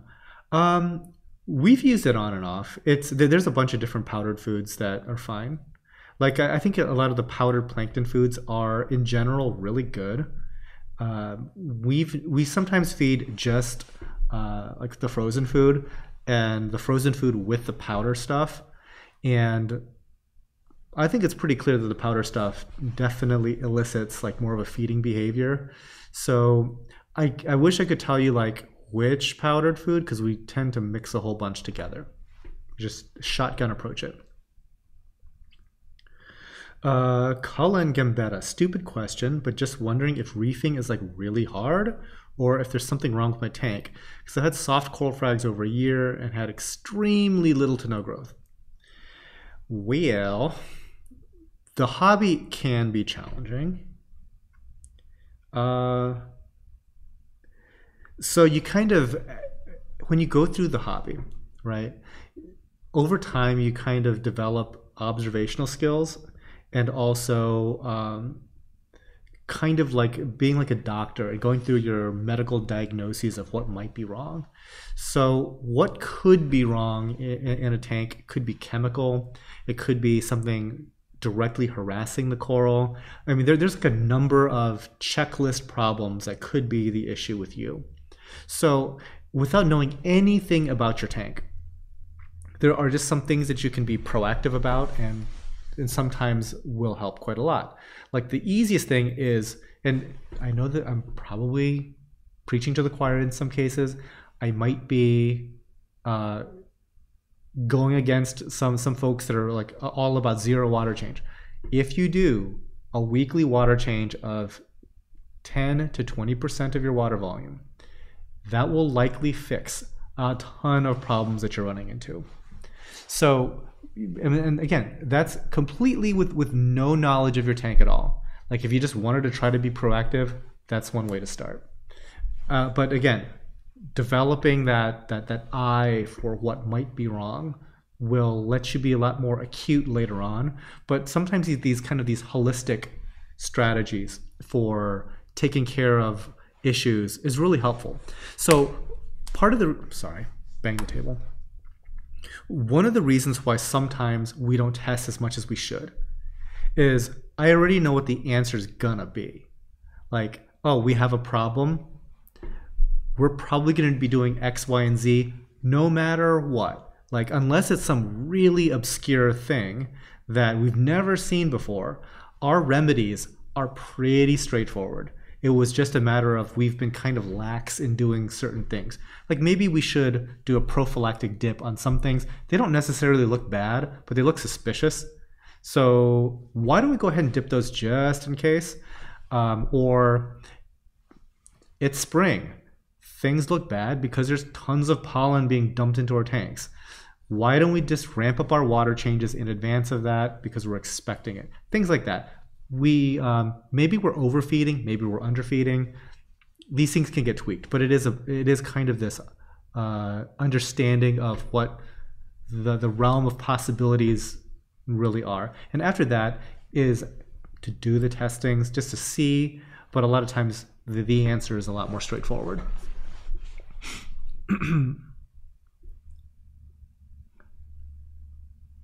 Uh, let's see. Um, don't certain wrasses eat those?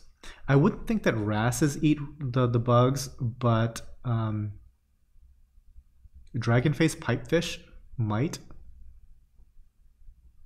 Uh, I will 100% tell you Bayer is not 100%. So I'll stop right there. I don't know if anybody did say anything is 100%. There's no dip that is 100%. Unless you're talking about boiling bleach, nothing is 100%. But, uh, yeah. No, there's no one. There, there's, there's no guarantees. Like, Coral RX isn't 100%, Bayer isn't 100%, Revive, like, none of these things. But I still maintain if you're able to avoid one pest issue, the dipping was worth it. In Sweden, they've begun having chips for credit cards and chips embedded in their skin. It's begun. Yeah, yeah. I mean, Elon Musk is working on that because, like, the the the biggest hurdle to integration with um, with technology is the fact that we went from using you know like 10 figures with a keyboard to using two thumbs. Like the the bandwidth to communicate is not there. So he's working on some brain interface. I'm sure that's going to go wonderfully. Gabriel I'm, i can not wait for a new robot overlords. It's happening whether we like it or not. It's i think i think with, with especially with ai coming it's it is going to be beyond our control very quickly if you guys are interested in ai uh, so Google has uh, a, a, side company under Alphabet called uh, DeepMind, and they have been doing some stuff with like um, with that. Is it Chinese game Go? It's called AlphaGo, and then they started to do stuff with StarCraft, that real-time strategy game by Blizzard. And so there's it's called AlphaStar, and they have uh, done really, really, really interesting stuff because the way that this AI learns is that it, it basically plays against itself and tweaks little things, plays against itself, tweaks a couple more things, plays against itself. So essentially, it's played enough games to be like 200 lifetimes of StarCraft. And when like a human opponent plays against AlphaStar, AlphaStar does weird stuff that humans would never do. Like, um, like humans, I, I guess, like react uh, emotionally to stuff. Like, oh no, such and such is happening in my base, and they're killing my workers. in certain cases, like when when it's happening to AlphaStar, AlphaStar just doesn't care. Just, I'm just gonna make more workers. I'm just, I'm just not gonna worry about it. I'm just gonna make more workers. Uh, and it, it, it, it does like just stuff that's that's not um, in, in, in the current metagame at all, and somehow like pulls out a victory. And I saw some like some chess things as far as um, uh, as far as artificial intelligence goes. Like they don't value pieces like human beings value pieces. So it's like no, the the goal is to win the game. The goal isn't to win the game with the best pieces still on the board. So yeah, it was it was very interesting to see how like all these strategies were were kind of different when an artificial intelligence looks at it.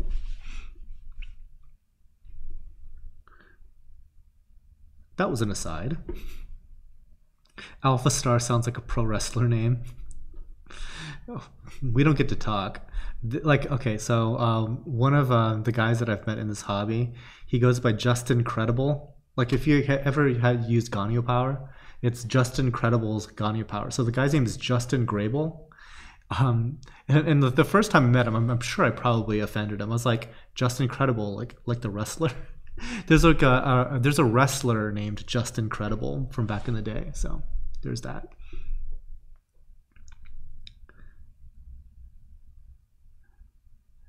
Yes. So speaking of quarantine, I know I know a number of people mentioning quarantine.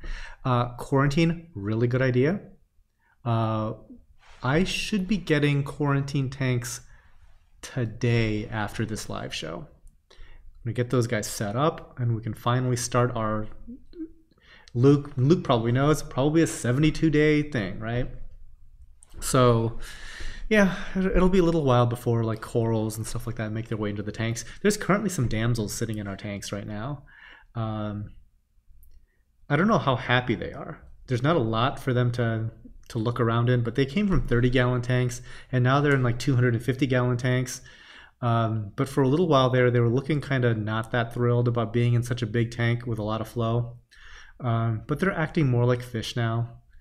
And it's very cloudy. It's going through that their it's going through its uh, cycle right now. So we're we're in that bacterial cloudy bloom right now. Reef Dudes love StarCraft 2 was a great game. Yeah, people people still into it. I I stopped playing it like months after it came out, probably. I stopped gaming in general. It's kind of sad. I wish I could be more of a gamer, but it's just not happening. Okay, Logan J, going back up into the comments a little bit. Than, what was your first tank? Gee, I was probably like five years old. It was a 10 gallon tank with goldfish. And that was probably the last time that this sort of thing was a relaxing hobby for me.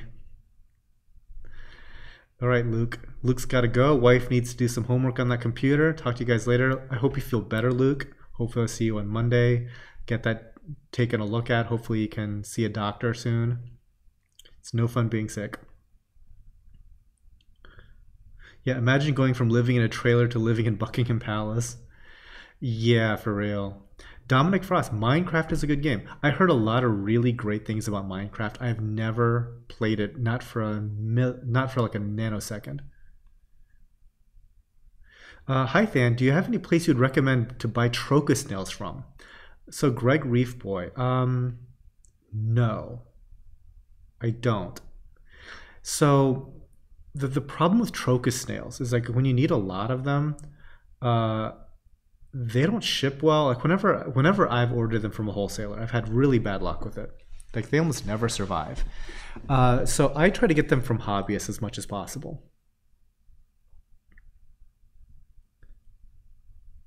Dell JC. Is Kessil A360X enough for SPS with 90 watts, even if I put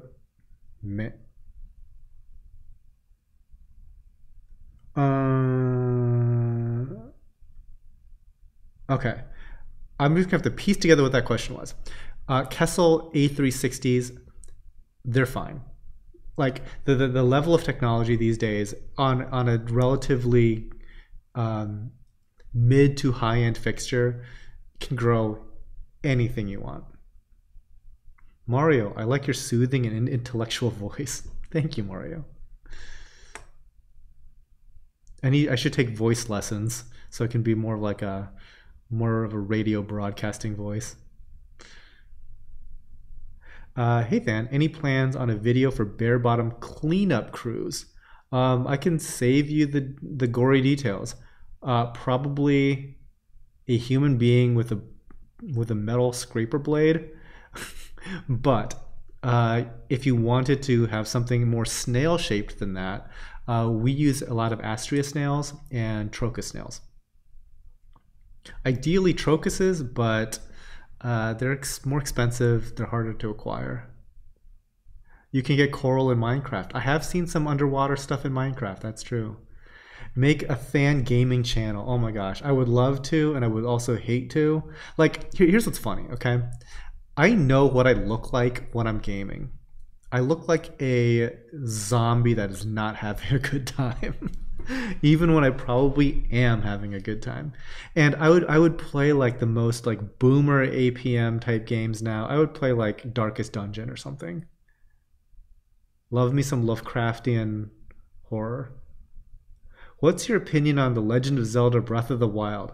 I haven't played it. I hear it's like some kind of amazing work of art. Like I wish that Nathan was here cuz Nathan still games cuz he's got like kids and you know he can kind of you know game and they can watch him and it's like it's a great little family activity but he's played through breath of the wild and he loved it um, I, have never played with it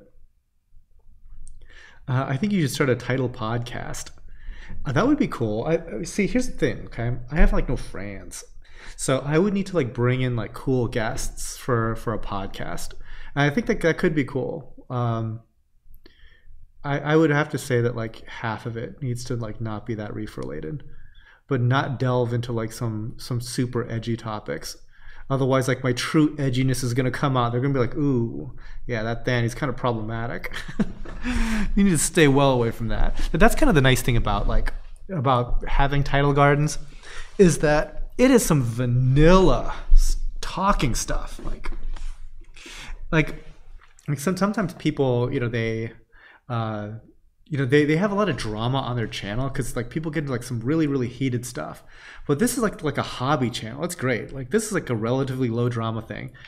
After like an hour ago i talked about banning everybody. And it's less drama after you ban everybody. So i guess there's that too. It is a self-selecting crowd with a little bit of help. Uh, with Kessil A360X, I don't reach more than 300 par ever. Um, 300 par is plenty. Plenty. You could be just fine with 300. You can be fine with 200. 175 is plenty of light. 300 par is a ton. Age of Empires and Team and Microsoft just released their remake of number two.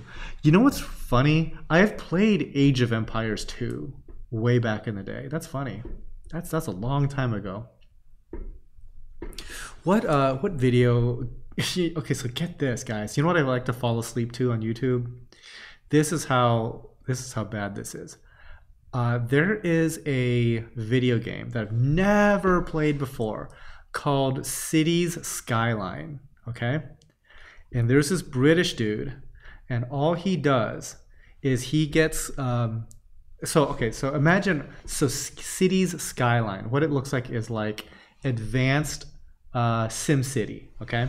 So there's like it's like a lot more complicated looking than sim city and what he does on, on his videos he has an entire channel thing after thing after thing okay?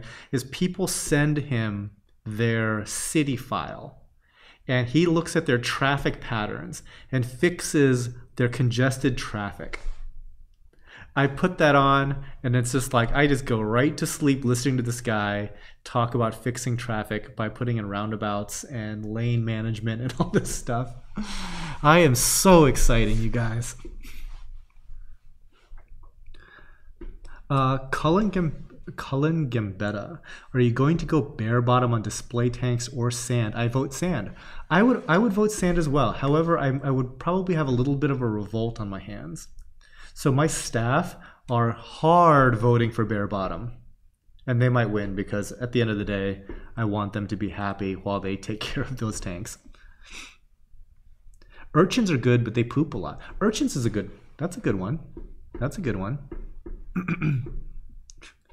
Stool, edgy Than. So what's funny is, I don't really do a ton of humor or anything like that. I'm a pretty funny guy, but you guys don't get to see hardly any of that because it's not like it's not for YouTube consumption.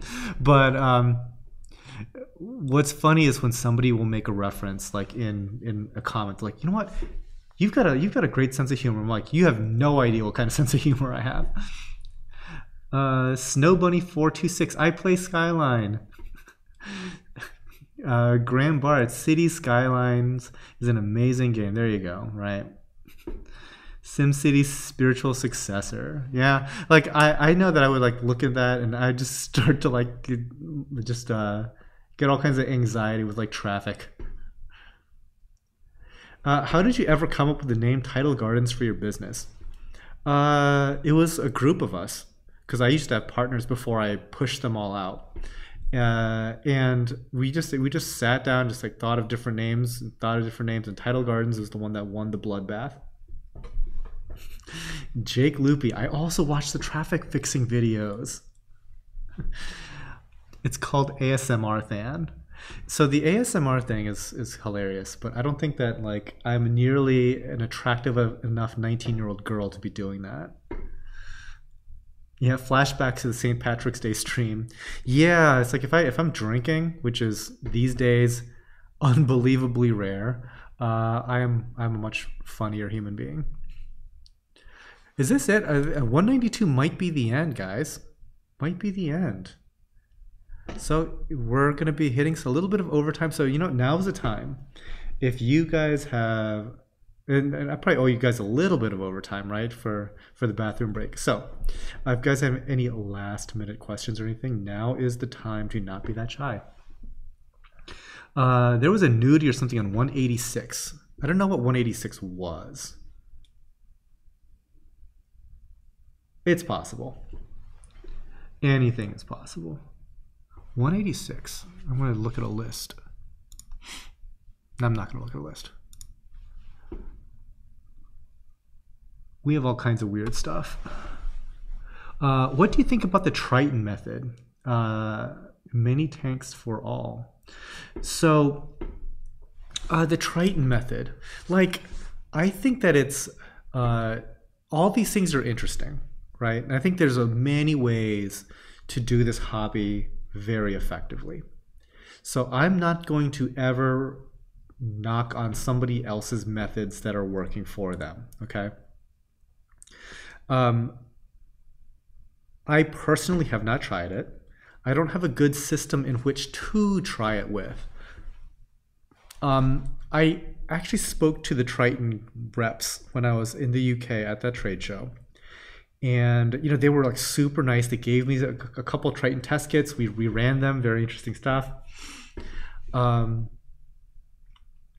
and the guy was like was, is there any way that we can get you to switch to triton?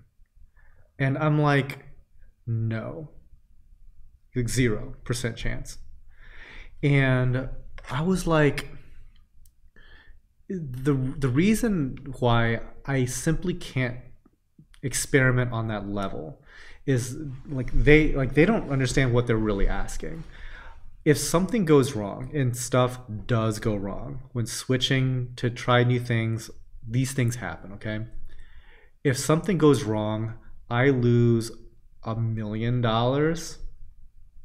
So, like, I, have got like a good relationship um, with you know the guys at Fritz. I've got a good relationship with like a few different you know salt manufacturers, and, and like the guys at Triton were very very nice. And it's like guys, I can't like unless my current salt brand supplier has like some catastrophic change and everything goes bad and I need to switch, um, unless something like that happens, I can't just switch to to your product bright well whatever it is okay? It can't it cannot happen because for you guys it is just oh we'll just we'll, we'll sell him some volume discount salt great for me it's like uh, if something goes bad it'll be such a catastrophic disaster that i simply cannot take that risk to satiate any kind of curiosity like it's a huge hurdle. So unfortunately, to answer your question, Dell, um, no, I have not really messed with Triton. Final Fantasy VII remake, yes, that does look good. I played that to death, the original Final Fantasy VII.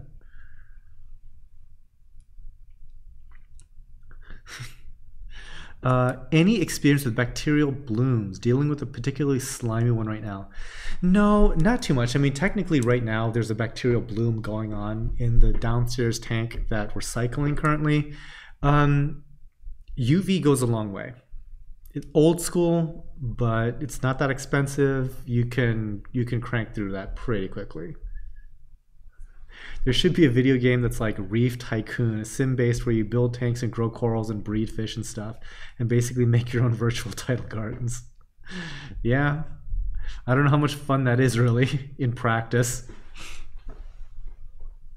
Experiment my livelihood, sure. You know what? That's funny. What's funny, Diacanthus Reef is, I've done this before. Like I tried Aquaforest. Like Aquaforest works great in Will's tank. I tried it mine, did not go great. I'm like, okay, we can't do this ever again. So sorry, this this ain't happening.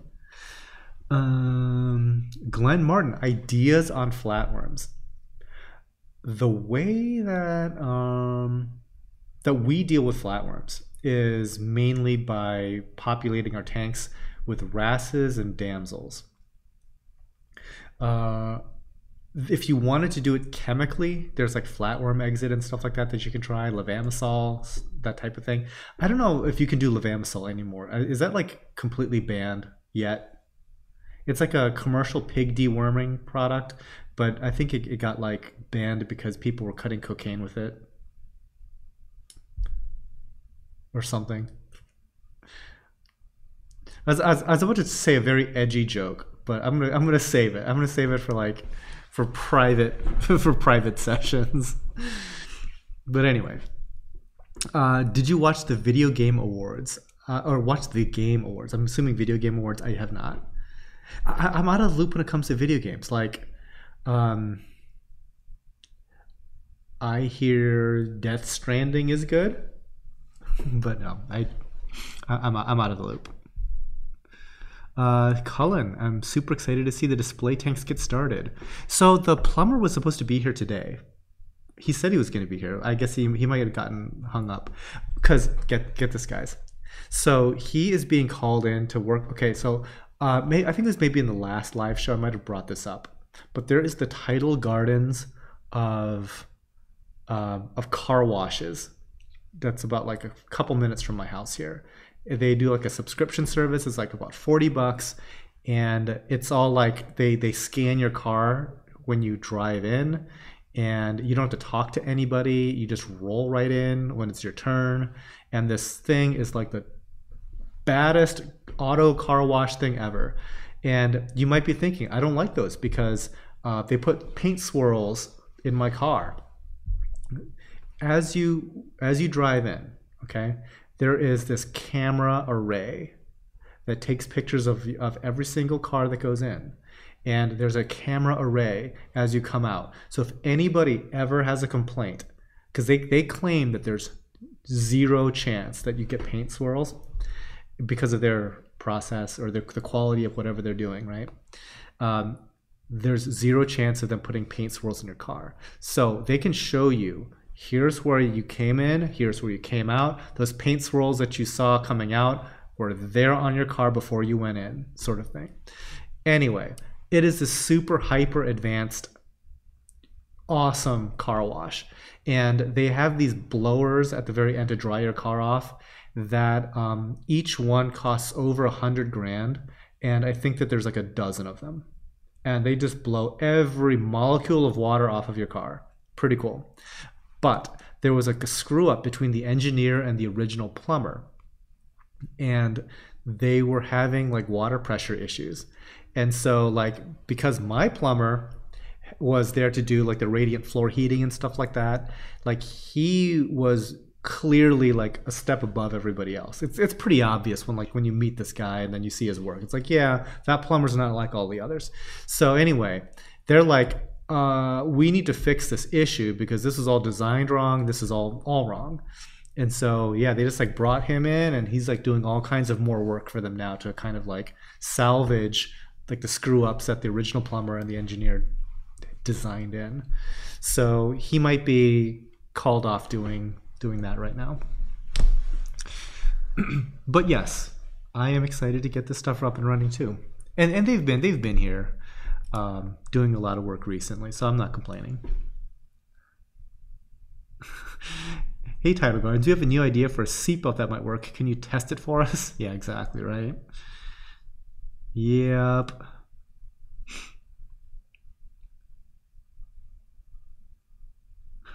Colin says, No, please say the joke. I need it. No, you don't. no one needs to hear it. Uh, Glenn Martin, what's going on with the Indonesia export? Uh, I don't know. I hear rumors that it's going to open back up. Until it until it actually opens back up, it's closed. That's how I'm looking at it. Angry Owl Aquariums, what is up? What is up? How is everything in Houston? Um, you need to buffer the water if you use leva. Um, I'm assuming levamisole, maybe. It will make your pH go very low. Yeah, I don't know. So our our, our well, yeah, I, I, would say that for home aquariums, uh, watch out for pH. Like in in our systems out here, we never have pH issues just because it's an open air building. So like it always e- equilibrates to 8.3. 8.3? Yeah. All right, guys. Uh, any minute now, I'm expecting um, this delivery of my quarantine tanks, so I will have to go soon. But it's been it's been fun. Hopefully, you guys enjoyed the live show. Uh, hopefully, got your all your questions answered about movies, about shows, about anime, about car washes, anything not particularly reef related that we do here. So yeah. Anyway, um, it is almost time for me to go. So I hope you guys enjoy the rest of your weekend. Uh, if you guys are into the NFL, hopefully your team does well tomorrow. The Browns are mega drama, so no matter what, I I'll I'll watch. I'll watch. They they got my attention. So, anyways, I will call it then. Uh, see y'all next time.